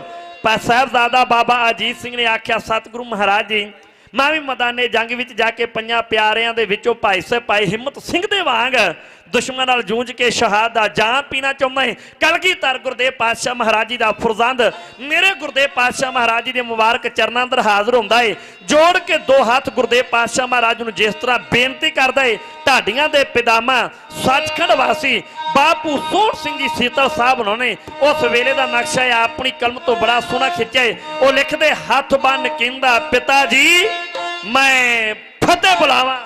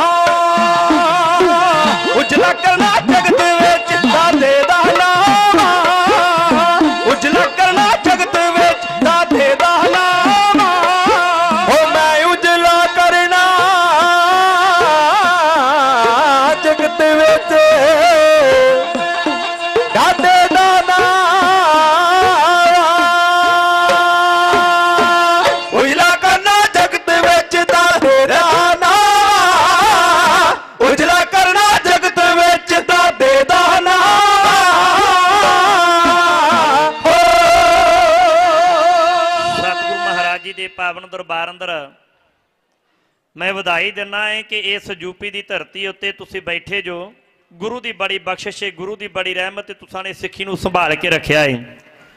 ਉੱਥੇ ਜਦੋਂ ਮੈਂ ਬਾਹਰ ਰਸਤੇ ਉੱਤੇ ਤੁਰਿਆ ਆ ਰਿਹਾ ਸੀ, ਨਾਲ ਦੇ ਸਾਥੀ ਆਖਣ ਲੱਗੇ, ਚਵਿੰਡਾ ਜੀ, ਕੋਈ ਵੀ ਨੌਜਵਾਨ ਬਾਹਰ ਸੜਕ ਉੱਤੇ ਨਹੀਂ ਖਲੋਤਾ ਨਾ, ਗੁਰਦੁਆਰੇ ਦੇ ਅੰਦਰ ਖਲੋਤਾ, ਨੌਜਵਾਨ ਆਏ ਨਹੀਂ ਕਿ ਗਏ ਕਿੱਥੇ ਆ? ਮੈਂ ਆਖਿਆ ਯੂਪੀ ਦੀ ਧਰਤੀ ਹੈ, ਜਿਹੜੇ ਗੁਰੂ ਘਰ ਦੇ ਨਾਲ ਜੁੜੇ ਨੌਜਵਾਨ ਗੁਰੂ ਕੇ ਪਾਵਨ ਦਰਬਾਰ ਅੰਦਰ ਬੈਠੇ ਹੋਣਗੇ। ਮੈਂ ਵੇਖਿਆ, ਜਿੰਨੇ ਨੌਜਵਾਨ ਵੀਰ ਨੇ ਗੁਰੂ ਸਿੱਖੀ ਦੇ ਨਾਲ ਜੁੜੇ ਹੋਏ ਨੇ ਸਿਰ ਦੇ ਉੱਤੇ ਦਸਤਾਰਾਂ ਸਜਾਈਆਂ ਹੋਈਆਂ ਮੂੰਹ ਦੇ ਉੱਤੇ ਦਾੜਾ, ਪ੍ਰਕਾਸ਼ ਗੁਰੂ ਕੀ ਪਾਵਨੀ ਅਤੇ ਪਵਿੱਤਰ ਹਜ਼ੂਰੀ ਅੰਦਰ ਬੈਠੇ ਹੋਏ ਆ ਇੱਕ ਨੌਜਵਾਨ ਸੇਵਾ ਐਸੀ ਕਰ ਰਿਹਾ ਏ ਕਿ ਜਿਹੜੀ ਸੰਗਤ ਬੈਠੀ ਹੈ ਕਿ ਸੰਗਤ ਨੂੰ ਉੱਠਣ ਦੀ ਖੇਚਲ ਨਾ ਕਰਨੀ ਪਵੇ, ਉਹ ਆਪ ਹੀ ਗੁਰੂ ਕੀ ਸੰਗਤ ਦੇ ਕੋਲੋਂ ਇਤਿਹਾਸ ਪੇੜ ਮਾਇਆ ਜਿਹੜੀ ਲਿਆ ਕੇ ਗੁਰੂ ਕੇ ਇਤਿਹਾਸ ਵਾਸਤੇ ਲਿਆ ਕੇ ਟੋਕਰੀ ਵਿੱਚ ਪਾਈ ਜਾ ਰਿਹਾ ਹੈ। ਇਹ ਬਹੁਤ ਵੱਡੀ ਸੇਵਾ ਏ ਅੱਜ ਦਾ ਨੌਜਵਾਨ ਇਸ ਪਾਸੇ ਨੂੰ ਤੁਰਨ ਵਾਸਤੇ ਤਿਆਰ ਨਹੀਂ ਜੋ। ਇਹ ਗੁਰੂ ਦੀ ਬਖਸ਼ ਹੋਵੇ, ਗੁਰੂ ਦੀ ਰਹਿਮਤ ਹੋਵੇ, ਗੁਰੂ ਦੀ ਕਿਰਪਾ ਹੋਵੇ ਤੇ ਫਿਰ ਇਹ ਸੇਵਾਵਾਂ ਹੁੰਦੀਆਂ ਨੇ। ਨਹੀਂ ਤੇ ਪੰਜਾਬ ਦੀ ਧਰਤੀ ਉੱਤੇ ਚਲੇ ਜਾਓ, ਕਦੇ ਵੀ ਚਲੇ ਜਾਓ। ਨੌਜਵਾਨ ਤੁਹਾਨੂੰ ਮਨਿਆਰੀ ਦੀ ਦੁਕਾਨ ਤੇ ਮਿਲ ਜਾਣਗੇ ਜਾਂ ਲੰਗਰ ਹਾਲ ਦੇ ਸਾਹਮਣੇ ਮਿਲਣਗੇ, ਦੀਵਾਨ ਹਾਲ ਦੇ ਸਾਹਮਣੇ ਖਲੋਤੇ ਮਿਲਣਗੇ, ਜੋੜੇ ਘਰ ਦੇ ਵਿੱਚ ਖਲੋਤੇ ਹੋਏ ਮਿਲਣਗੇ। ਮਿਲਦੇ ਕਿਉਂ ਆ? ਮਾੜੀ ਅੱਖ ਦੇ ਨਾਲ ਵੇਖਣਾ, ਜਿਹੋ ਜੀ ਨੀਤ ਲੈ ਕੇ ਆਏ, ਉਹੋ ਜੀ ਫਲ ਲੈ ਕੇ ਜਾਣਾ ਏ। ਇੱਥੇ ਜਿਹੋ ਜੀ ਨੀਤ ਲੈ ਕੇ ਆਓ ਗੁਰੂ ਘਰ ਦਾ ਜਿਹੜਾ ਦਰਬਾਰ ਏ, ਸ਼ੀਸ਼ਾ ਏ, ਇਹਦੇ ਵਿੱਚ ਜਿਹੋ ਜਿਹਾ ਮਹਾਂਦਰਾ ਬਣਾ ਕੇ ਆਪਣਾ ਚਿਹਰਾ ਵੇਖੋਗੇ, ਸ਼ਕਲ ਵੇਖੋਗੇ, ਉਹੋ ਜੀ ਨਜ਼ਰ ਆਵੇਗੀ। ਜੇ ਇੱਥੇ ਮਾੜੀ ਨੀਤ ਲੈ ਕੇ ਆਓਗੇ ਤੇ ਖਾਲੀ ਝੋਲੀਆਂ ਭਰ ਕੇ ਨਹੀਂ ਜੋ ਜਾ ਸਕਦੇ। ਤੇ ਇੱਥੇ ਜਿਹੜੀ ਚੰਗੀ ਨੀਤ ਲੈ ਕੇ ਆਵੇਗਾ, ਗੁਰੂ ਘਰ ਦੇ ਵਿੱਚ ਸੇਵਾ ਕਰਨ ਵਾਸਤੇ, ਗੁਰੂ ਕਾ ਇਤਿਹਾਸ ਸਰਵਣ ਕਰਨ ਵਾਸਤੇ, ਗੁਰੂ ਘਰ ਦੇ ਵਿੱਚ ਬਾਣੀ ਪੜਨ ਵਾਸਤੇ, ਬਾਣੀ ਸੁਣਨ ਵਾਸਤੇ, ਉਹ ਬੇਸ਼ੱਕ ਪਿਆਰੀ ਸਾਧ ਸੰਗਤ ਜੀ ਘਰ ਦੇ ਵਿੱਚ ਉਹ ਖਾਲੀ ਆਵੇ ਤੇ ਗੁਰੂ ਘਰ ਦੇ ਵਿੱਚ ਆਪਣੀ ਖਾਲੀ ਝੋਲੀਆਂ ਸ਼ਾਮਾਂ ਨੂੰ ਭਰ ਕੇ ਤੇ ਘਰਾਂ ਨੂੰ ਵਾਪਸ ਜਾਂਦੇ ਜੋ। ਤੁਸੀਂ ਗੁਰੂ ਕੇ ਪਾਵਨ ਦਰਬਾਰ ਅੰਦਰ ਬੈਠੇ ਜੋ, ਇਤਿਹਾਸ ਦਾ ਮਾਣ ਕਰ ਰਹੇ ਜੋ, ਸਤਿਕਾਰ ਕਰ ਰਹੇ ਜੋ, ਮਾਇਆ ਦੇ ਰੂਪ ਵਿੱਚ ਗੁਰੂ ਕਿਰਪਾ ਕਰੇ ਤੁਹਾਡੇ ਸਿਰ ਦੇ ਉੱਤੇ ਸਤਿਗੁਰੂ ਮਹਾਰਾਜ ਜੀ, ਮੇਰਾ ਭਰਿਆ ਹੱਥ ਰੱਖੇ ਕਿ ਮੈਂ ਬੇਨਤੀ ਆਰ ਸਟੇਜ ਉੱਤੇ ਕਰਦਾ ਹੁੰਨਾ ਏ। ਕਿਉਂਕਿ ਮੇਰਾ ਫਰਜ਼ ਵੀ ਬਣਦਾ ਏ ਕਿ ਕੌਮ ਦੇ ਢਾਡੀ, ਕਵੀਸ਼ਰ, ਪ੍ਰਚਾਰਕ, ਰਾਗੀ, ਗੁਰੂ ਘਰ ਦੇ ਗ੍ਰੰਥੀ ਇਹਨਾਂ ਨੂੰ ਪਿਆਰੀ ਸਾਧ ਸੰਗਤ ਜੀ, ਵੱਧ ਤੋਂ ਵੱਧ ਮਾਇਆ ਦੇਣ ਦਾ ਯਤਨ ਕਰਿਆ ਕਰੋ। ਕਿਉਂਕਿ ਮਾਇਆ ਜਿਹੜੀ ਗਲਤ ਪਾਸੇ ਨਹੀਂ, ਗੁਰੂ ਦੇ ਕਾਰਜਾਂ ਵਾਸਤੇ, ਗੁਰੂ ਦੇ ਘਰ ਵਾਸਤੇ ਲੱਗਦੀ ਏ। ਕਿਉਂਕਿ ਜਿਹੜਾ ਗੁਰੂ ਦੀ ਬਾਣੀ ਸੁਣਾਵੇ ਨਾ, ਇੱਕ ਵਾਰ ਕਿਸੇ ਸਿੱਖ ਨੇ ਭਾਈ ਸਾਹਿਬ, ਭਾਈ ਗੁਰਦਾਸ ਨੂੰ ਸਵਾਲ ਕਰ ਦਿੱਤਾ। ਕੱਲ ਵੀ ਮੈਨੂੰ ਕਿਸੇ ਵੀਰ ਨੇ ਫੋਨ ਤੇ ਸਵਾਲ ਕੀਤਾ।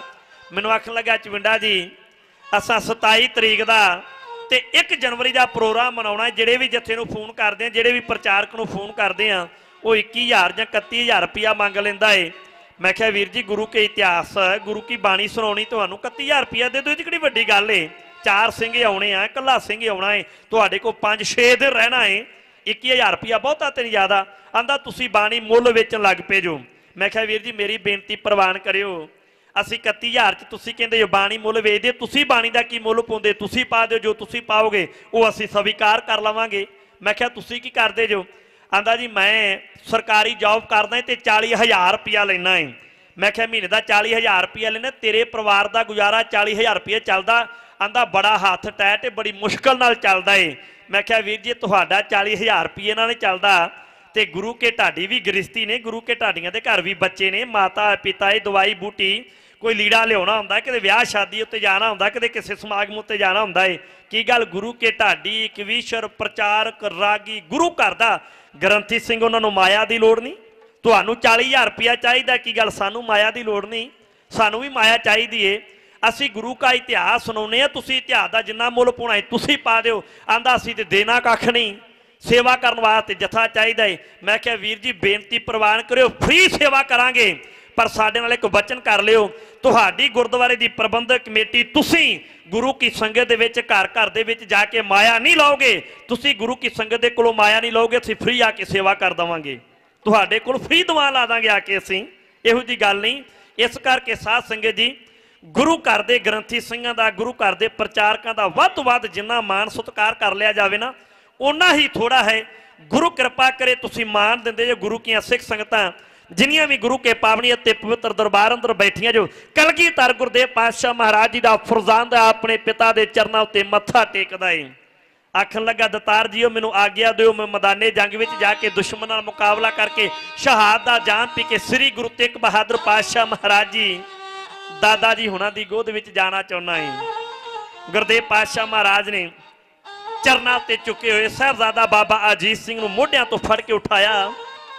ਘੁੱਟ ਕੇ ਪਿਆਰੀ ਸਾਧ ਸੰਗ ਦੀ ਛਾਤੀ ਨਾਲ ਲਾਇਆ ਚੰਦ ਵਰਗਾ ਮੁਖੜਾ ਚੁੰਮਿਆ, ਸਿਰ ਦੇ ਉੱਤੇ ਪਿਆਰ ਨਾਲ ਹੱਥ ਫੇਰ ਕੇ ਕਲਗੀਧਰ ਗੁਰਦੇਵ ਪਾਤਸ਼ਾਹ ਮਹਾਰਾਜ ਨੇ ਆਖਿਆ, ਸ਼ਾਬਾਸ਼ ਹੈ ਸਾਹਿਬਜ਼ਾਦਾ ਅਜੀਤ ਸਿੰਘ।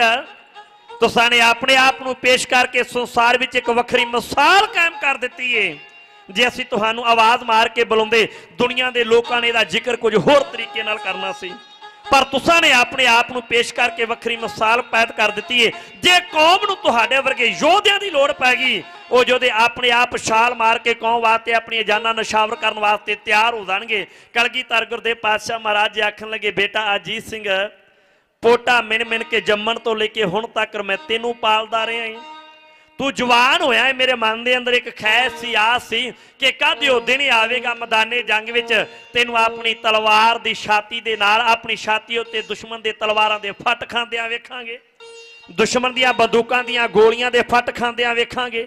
ਤੀਰ ਛਾਤੀ ਵਿੱਚ ਖਾਂਦਿਆਂ ਵੇਖਾਂਗੇ। ਇਸੇ ਕਰਕੇ ਤੈਨੂੰ ਮੈਂ ਮਿਣ ਮਿਣ ਕੇ ਰੀਜਾਂ ਦੇ ਨਾਲ ਅੱਜ ਪਾਲਿਆ ਏ। ਕਲਗੀਧਰ ਗੁਰਦੇਵ ਪਾਤਸ਼ਾਹ ਮਹਾਰਾਜ ਜੀ, ਆਪਣੇ ਫਰਜ਼ੰਦ ਨੂੰ ਮੈਦਾਨੇ ਜੰਗ ਵਿੱਚ ਪਿਆਰੀ ਸਾਧ ਸੰਗ ਜੀ ਤੋਰਨ ਲੱਗੇ ਨੇ।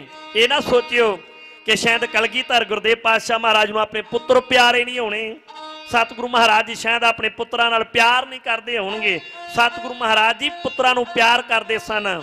ਪਰ ਅੱਜ ਉਹਦੇ ਵਰਗਾ ਬਾਨਾ ਬੜਾ ਮੁਸ਼ਕਲ ਹੋ ਗਿਆ ਏ। ਮੁਸ਼ਕਲ ਇਸੇ ਕਰਕੇ ਹੋ ਗਿਆ ਏ। ਅੱਜ ਸਾਡੇ ਘਰਾਂ ਦੇ ਅੰਦਰ ਹੀਰੋ ਤੇ ਪੈਦਾ ਹੁੰਦੇ ਨੇ।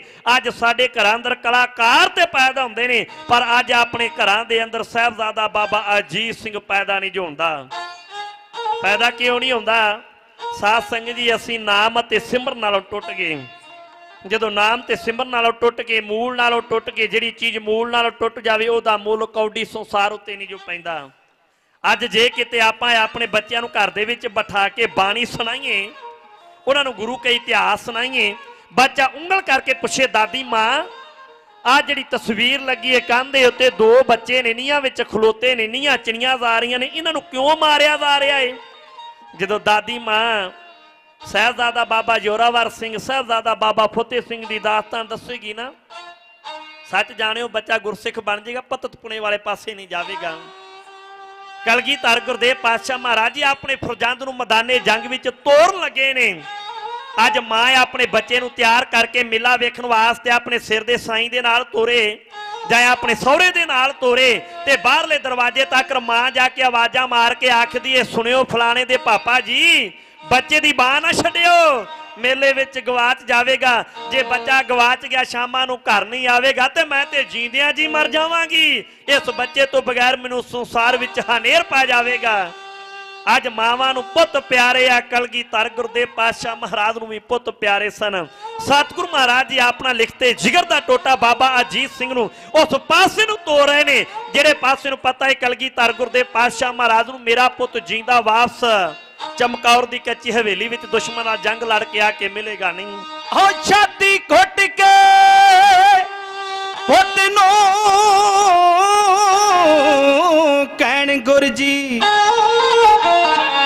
ਤੇ ਮੇਰੇ ਹੀਰਿਆ ਲਾਲ ਅਜੀਤ ਸਿੰਘਾ ਦਿਲ ਦੀ ਪੁੱਛੇ ਤਾਂ ਕੀਤਾ ਜਵਾਨ ਤੈਨੂੰ ਤੇ ਇਸੇ ਵਾਸਤੇ ਪਾਲ ਅਜੀਤ ਸਿੰਘਾ। ਓ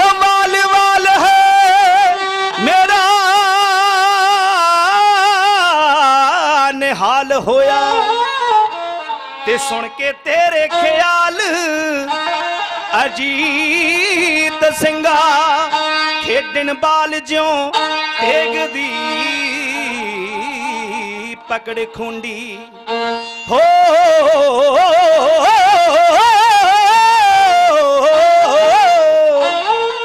ਖੇਡਣ ਬਾਲ ਜਿਉਂ ਤੇਗਦੀ ਪਕੜ ਖੁੰਡੀ। ਤੇ ਸਿਰੀਆਂ ਇੰਜ ਉਛਾਲ। ਅਜੀਤ ਸਿੰਘਾ ਆ ਬੀਤੇ ਆਪਣੇ ਵੱਡ ਵਡੇਰਿਆਂ ਦੀ। ਤੇ ਮਰਦਾਂ ਵਾਂਗ ਲੱਜ ਪਾਲ ਅਜੀਤ ਸਿੰਘਾ। ਸੀਤਲ ਰਹੇ ਜਹਾਨ ਤੇ ਨਾ ਪਿਛੋਂ। ਤੇ ਐਸੀ ਘੱਲ ਨਾ ਕਾਲ ਅਜੀਤ ਸਿੰਘਾ, ਤੇ ਐਸੀ ਘੱਲ ਨਾ ਕਾਲ ਅਜੀਤ ਸਿੰਘਾ। ਮੈਦਾਨੇ ਜੰਗ ਵਿੱਚ ਜਾਣ ਵਾਸਤੇ ਕਲਗੀਧਰ ਗੁਰਦੇਵ ਪਾਤਸ਼ਾਹ ਮਹਾਰਾਜ ਨੇ ਆਪਣੇ ਵੱਡੇ ਸੁਪੁੱਤਰ ਬਾਬਾ ਅਜੀਤ ਸਿੰਘ ਨੂੰ ਆਪਣੇ ਹੱਥਾਂ ਨਾਲ ਤਿਆਰ ਕੀਤਾ। ਅੱਠਾਂ ਸਿੰਘਾਂ ਦਾ ਜੱਥਾ ਦਿੱਤਾ। ਗੁਰੂ ਦੇ ਲਾਲ ਨੇ ਜ਼ਮੀਨ ਦੀ ਛਾਤੀ ਉੱਤੋਂ ਆਪਣਾ ਖੱਬਾ ਪੈਰ ਚੁੱਕ ਕੇ ਪਿਆਰੀ ਸਾਧ ਸਿੰਘ ਜੀ ਘੋੜੇ ਦੀ ਰਕਾਬ ਅੰਦਰ ਰੱਖਿਆ। ਮਾਰ ਕੇ ਪਲਾਕੀ ਗੁਰਦੇਵ ਪਾਤਸ਼ਾਹ ਮਹਾਰਾਜ ਜੀ ਦਾ ਫਰਜ਼ੰਦ ਘੋੜੇ ਉੱਤੇ ਸਵਾਰ ਹੋਇਆ, ਘੋੜੇ ਨੂੰ ਵੱਡੀ ਲਾਈ ਤੇ ਘੋੜੇ ਦੀਆਂ ਵਾਗਾਂ ਖਿੱਚੀਆਂ। ਗੁਰਦੇਵ ਪਾਤਸ਼ਾਹ ਮਹਾਰਾਜ ਜੀ ਦੇ ਸਾਹਿਬਜ਼ਾਦੇ ਦੇ ਘੋੜੇ ਨੇ ਆਪਣੇ ਪੌੜ ਚੁੱਕੇ ਤੇ ਦੁਬਾਰੇ ਜ਼ਮੀਨ ਉੱਤੇ ਰੱਖੇ। ਗੁਰਦੇਵ ਪਾਤਸ਼ਾਹ ਮਹਾਰਾਜ ਨੇ ਹੁਕਮ ਕੀਤਾ, ਚਮਕੌਰ ਦੀ ਕੱਚੀ ਹਵੇਲੀ ਦਾ ਦਰਵਾਜ਼ਾ ਖੋਲ ਦਿੱਤਾ ਜਾਵੇ। ਸਿੱਖ ਸਰਦਾਰ ਜਿਹੜਾ ਚਮਕੌਰ ਦੀ ਕੱਚੀ ਹਵੇਲੀ ਦੇ ਦਰਵਾਜ਼ੇ ਉੱਤੇ ਪਹਿਰਾ ਦੇ ਰਿਹਾ ਸੀ। ਉਹਨੇ ਦਰਵਾਜ਼ਾ ਖੋਲ ਦਿੱਤਾ। ਗੁਰਦੇਵ ਪਾਤਸ਼ਾਹ ਮਹਾਰਾਜ ਜੀ ਦਾ ਸਪੂਤ ਹੋ ਕੇ ਘੋੜੇ ਉੱਤੇ ਸਵਾਰ ਅੱਠਾਂ ਸਿੰਘਾਂ ਦਾ ਜੱਥਾ ਲੈ ਕੇ ਰਣ ਤੱਤੇ ਵਿੱਚ ਆਇਆ। ਦੁਸ਼ਮਣ ਨੇ ਤੱਕਿਆ, ਗੁਰਦੇਵ ਪਾਤਸ਼ਾਹ ਮਹਾਰਾਜ ਜੀ ਦਾ ਫਰਜ਼ੰਦ ਆ ਗਿਆ ਏ। ਸਿਪਾਹੀਆਂ ਨੇ ਰੌਲਾ ਪਾ ਦਿੱਤਾ, ਭਾਗੋ ਔਰ ਜਾਨ ਬਚਾਓ! ਗੁਰੂ ਕੇ ਸਿੱਖ ਮੈਦਾਨੇ ਜੰਗ ਵਿੱਚ ਆ ਗਏ। ਸਿਪਾਹੀਆਂ ਦਾ ਜਿਹੜੇ ਪਾਸੇ ਨੂੰ ਮੂੰਹ ਹੋਇਆ, ਉਸੇ ਪਾਸੇ ਨੂੰ ਦੌੜੇ। ਪਾਪੀ ਵਜ਼ੀਰ ਖਾਂ ਸੂਬਾ ਸਰੰਦ ਹਾਥੀ ਦੀ ਅੰਬਾਰੀ ਵਿੱਚ ਬੈਠਾ ਏ। ਆਪਣੀ ਫੌਜ ਨੂੰ ਤਾਨੇ ਅਤੇ ਮੀਨੇ ਮਾਰ ਕੇ ਡਾਕੇ ਕਲਗੀ ਗੁਰਦੇਵ ਪਾਤਸ਼ਾਹ ਮਹਾਰਾਜ ਦੇ ਸਾਹਿਬਜ਼ਾਦੇ ਨਾਲ ਜੰਗ ਲੜਨ ਵਾਸਤੇ ਪ੍ਰੇਰਿਤ ਕਰਦਾ ਏ। ਦੌੜੀਆਂ ਹੋਈਆਂ ਫੌਜਾਂ ਨੇ ਆਪਣੇ ਘੋੜੇ ਦੀਆਂ ਵਾਗਾਂ ਖਿੱਚੀਆਂ ਤੇ ਸਿੱਖਾਂ ਨਾਲ ਜੰਗ ਕਰਨ ਵਾਸਤੇ ਦੁਬਾਰੇ ਤਿਆਰ ਹੋ ਗਏ ਨੇ। ਗੁਰਦੇਵ ਪਾਤਸ਼ਾਹ ਮਹਾਰਾਜ ਜੀ ਦਾ ਸਪੂਤ ਬਾਬਾ ਅਜੀਤ ਸਿੰਘ ਰਣਤੱਤੇ ਵਿੱਚ ਵੱਧ-ਵੱਧ ਕੇ ਵਾਰ ਕਰਦਾ ਏ। ਉੱਥੇ ਵਿਦਵਾਨ ਲਿਖਦਾ ਏ, ਬਹਾਦਰਾਂ ਦੀਆਂ ਤਲਵਾਰਾਂ ਨੇ ਬਹਾਦਰਾਂ ਦੇ ਸਰੀਰਾਂ ਦੀ ਵੱਡੀ ਪਾਈ ਹੋਈ ਏ। ਕਿਸੇ ਦਾ ਤੜ ਕਿਸੇ ਪਾਸੇ।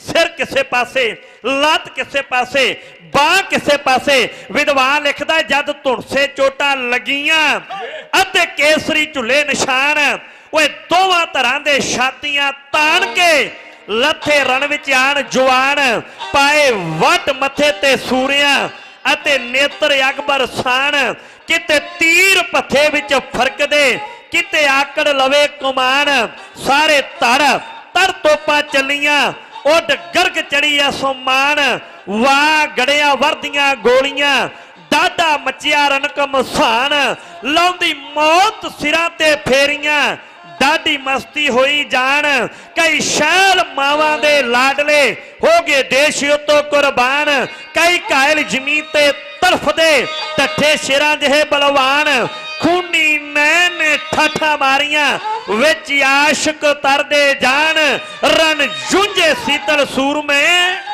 ਜਸ ਖੱਟ ਗਏ ਵਿੱਚ ਮੈਦਾਨ। ਮਾਵਾਂ ਦੇ ਪੁੱਤ ਵੱਧ-ਵੱਧ ਕੇ ਡਰਾਰੇ ਨੇ। ਕਲਗੀਧਰ ਗੁਰਦੇਵ ਪਾਤਸ਼ਾਹ ਮਹਾਰਾਜ ਜੀ ਦਾ ਬਹਾਦਰ ਸਪੂਤ ਬਾਬਾ ਅਜੀਤ ਸਿੰਘ ਦੁਸ਼ਮਣ ਉੱਤੇ ਵੱਧ-ਵੱਧ ਕੇ ਵਾਰ ਕਰ ਰਹੇ ਐਨ ਵਕਤ ਇੱਕ ਪਾਪੀ ਜ਼ਾਲਮ ਜਰਵਾਣੇ ਮੁਗਲ ਪਠਾਨ ਨੇ ਘੋੜਾ ਭਜਾਇਆ। ਸਾਹਿਬਜ਼ਾਦਾ ਬਾਬਾ ਅਜੀਤ ਸਿੰਘ ਦੇ ਕੋਲੇ ਆਇਆ। ਪਿੱਠ ਵਾਲਿਓ ਪਾਸਿਓਂ ਵੱਖੀ ਦੇ ਵਿੱਚ ਇਹਨੇ ਲਿਆ ਕੇ ਬਰਸ਼ੀ ਮਾਰ ਦਿੱਤੀ ਏ। ਜਦੋਂ ਵੱਖੀ ਵਿੱਚ ਬਰਸ਼ੀ ਵੱਜੀ ਤੇ ਵੱਜੀ ਹੋਈ ਬਰਸ਼ੀ ਜਦੋਂ ਵਾਪਸ ਖਿੱਚੀ ਤੇ ਸਾਹਿਬਜ਼ਾਦਾ ਅਜੀਤ ਸਿੰਘ ਦੇ ਸਰੀਰ ਦੀਆਂ ਅੰਦਰਾਂ ਬਾਹਰ ਨਿਕਲੀਆਂ। ਕਲਗੀਧਰ ਗੁਰਦੇਵ ਪਾਤਸ਼ਾਹ ਮਹਾਰਾਜ ਨੇ ਆਵਾਜ਼ ਮਾਰ ਕੇ ਆਖਿਆ, ਸ਼ਾਬਾਸ਼ ਸਾਹਿਬਜ਼ਾਦਾ ਅਜੀਤ ਸਿੰਘ।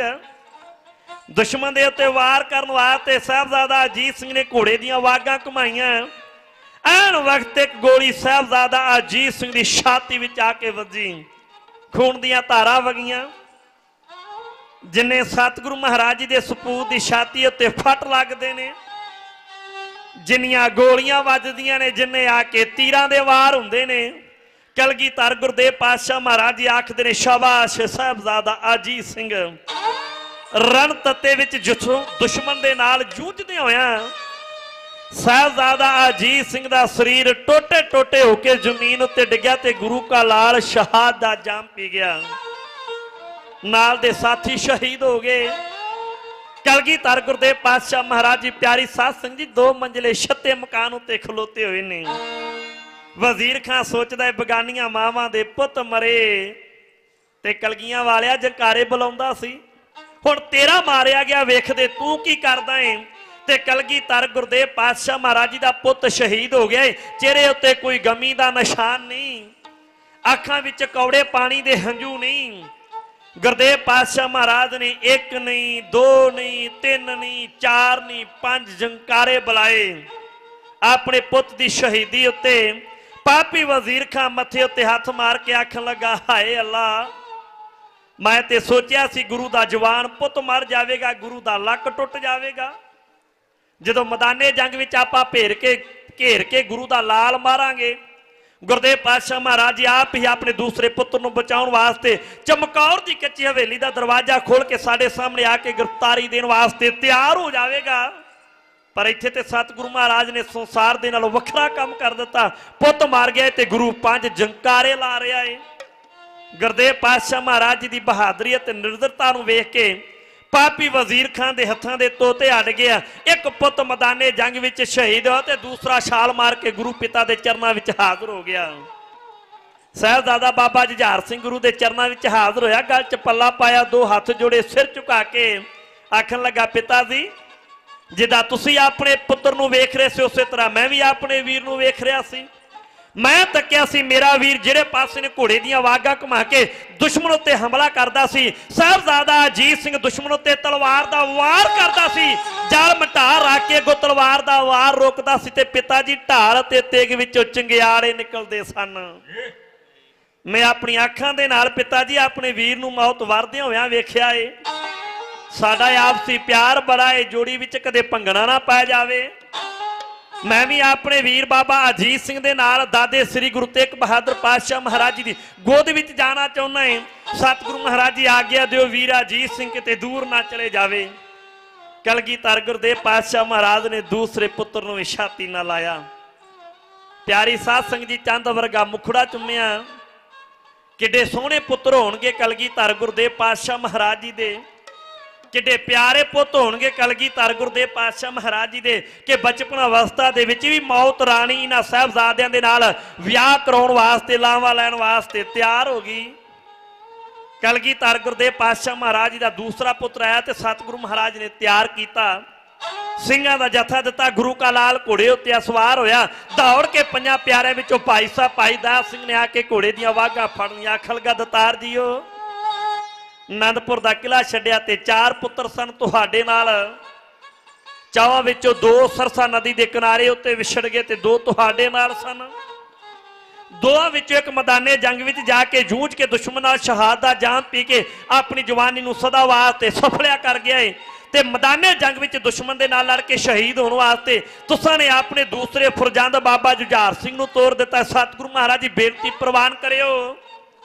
ਸਾਹਿਬਜ਼ਾਦਾ ਜੁਝਾਰ ਸਿੰਘ ਦੇ ਸਾਹਮਣੇ ਜਦ ਤੱਕ ਅਸੀਂ ਜੀਂਦੇ ਆ ਅਸੀਂ ਦੁਸ਼ਮਣਾਂ ਨਾਲ ਜਾ ਕੇ ਮੈਦਾਨੇ ਜੰਗ ਵਿੱਚ ਸ਼ਹਾਦਤ ਦਾ ਜਾਮ ਪੀਵਾਂਗੇ। ਸਾਡੇ ਜੀਂਦਿਆਂ ਜੀ ਸਾਹਿਬਜ਼ਾਦਾ ਬਾਬਾ ਜੁਝਾਰ ਸਿੰਘ ਰਣ ਤੱਤੇ ਵਿੱਚ ਨਹੀਂ ਜਾ ਸਕਦਾ।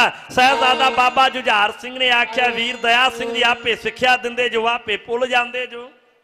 ਆਪੇ ਤੇ ਸਿੱਖਿਆ ਦਿੰਦੇ ਸੀ, ਗੁਰੂ ਦਾ ਸਿੱਖ ਇੱਕ ਵਾਰ।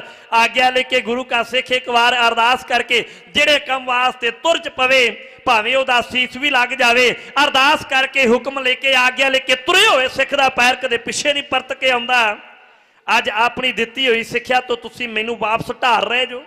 ਤੁਹਾਡੀ ਸਿੱਖਿਆ ਗ੍ਰਹਿਣ ਕਰਕੇ, ਮੈਂ ਪਿਤਾ ਜੀ ਦੀ ਸਿੱਖਿਆ ਗ੍ਰਹਿਣ ਕਰਕੇ ਜਵਾਨ ਹੋਇਆ, ਅੱਜ ਮੌਕਾ ਮਿਲਿਆ। ਤੁਸੀਂ ਕਹਿੰਦੇ ਜੋ, ਤੁਸੀਂ ਵਾਪਸ ਮੁੜ ਜਾਓ, ਅੱਗੇ ਨਾ ਜਾਇਓ। ਹੁਣ ਗੁਰੂ ਦਾ ਸਿੱਖ ਨੇ ਕਦਮ ਪੁੱਟ ਲਿਆ, ਭਾਈ ਦਇਆ ਸਿੰਘ ਜੀ, ਤੁਸੀਂ ਦੱਸੋ ਜਿਸ ਸਿੱਖ ਨੇ ਆਗਿਆ ਪਾਈ ਹੈ, ਅਰਦਾਸ ਕੀਤੀ ਏ, ਹੁਣ ਕਦਮ ਪੁੱਟ ਕੇ ਵਾਪਸ ਜਾਵੇ ਕਿ ਨਾ ਜਾਵੇ? ਸਾਹਿਬਜ਼ਾਦਾ ਬਾਬਾ ਜੁਝਾਰ ਸਿੰਘ ਦੀ ਗੱਲ ਸੁਣੀ ਤੇ ਭਾਈ ਦਇਆ ਸਿੰਘ ਦੇ ਹੱਥੋਂ ਸਾਹਿਬਜ਼ਾਦੇ ਘੋੜੇ ਦੀਆਂ ਵਾਗਾਂ ਛੁੱਟ ਗਈਆਂ। ਗੁਰਦੇਵ ਪਾਤਸ਼ਾਹ ਮਹਾਰਾਜ ਨੇ ਉੱਚੀ ਲਲਕਾਰ ਕੇ ਆਖਿਆ ਦਰਵਾਜ਼ੇ ਉੱਤੇ ਖਲੋਤੇ ਦਰਬਾਰ ਸਿੱਖ ਜੀ। ਤੁਹਾਨੂੰ ਹੁਕਮ ਹੈ, ਚਮਕੌਰ ਦੀ ਕੱਚੀ ਹਵੇਲੀ ਦਾ ਦਰਵਾਜ਼ਾ ਖੋਲ ਦਿੱਤਾ ਜਾਵੇ। ਗੁਰਦੇਵ ਪਾਤਸ਼ਾਹ ਮਹਾਰਾਜ ਜੀ ਦਾ ਹੁਕਮ ਪਾ ਕੇ ਦਰਬਾਰ ਨੇ ਦਰਵਾਜ਼ਾ ਖੋਲੇ ਕਲਗੀਧਰ ਗੁਰਦੇਵ ਪਾਤਸ਼ਾਹ ਮਹਾਰਾਜ ਜੀ ਦਾ ਫਰਜ਼ੰਦ ਬਾਬਾ ਜੁਝਾਰ ਸਿੰਘ ਰਣਤੱਤੇ ਵਿੱਚ ਆ ਕੇ ਦੁਸ਼ਮਣ ਦੇ ਨਾਲ ਸਾਹਮਣੇ ਆਪਣੀ ਛਾਤੀ ਦੀ ਢਾਲ ਬਣਾ ਕੇ ਘੋੜੇ ਦੀਆਂ ਵਾਗਾਂ ਖਿੱਚ ਕੇ ਬੋਲੇ ਸੁਣਿਆਲ ਤੇ ਸਤਿ ਸ੍ਰੀ ਅਕਾਲ ਦੇ ਜੰਕਾਰੇ ਬੁਲਾ ਕੇ ਗੁਰੂ ਦਾ ਫਰਜ਼ੰਦ ਵੱਧ ਵੱਧ ਕੇ ਮੈਦਾਨੇ ਜੰਗ ਵਿੱਚ ਦੁਸ਼ਮਣ ਤੇ ਵਾਰ ਹੈ। ਇੰਜ ਕਰੇ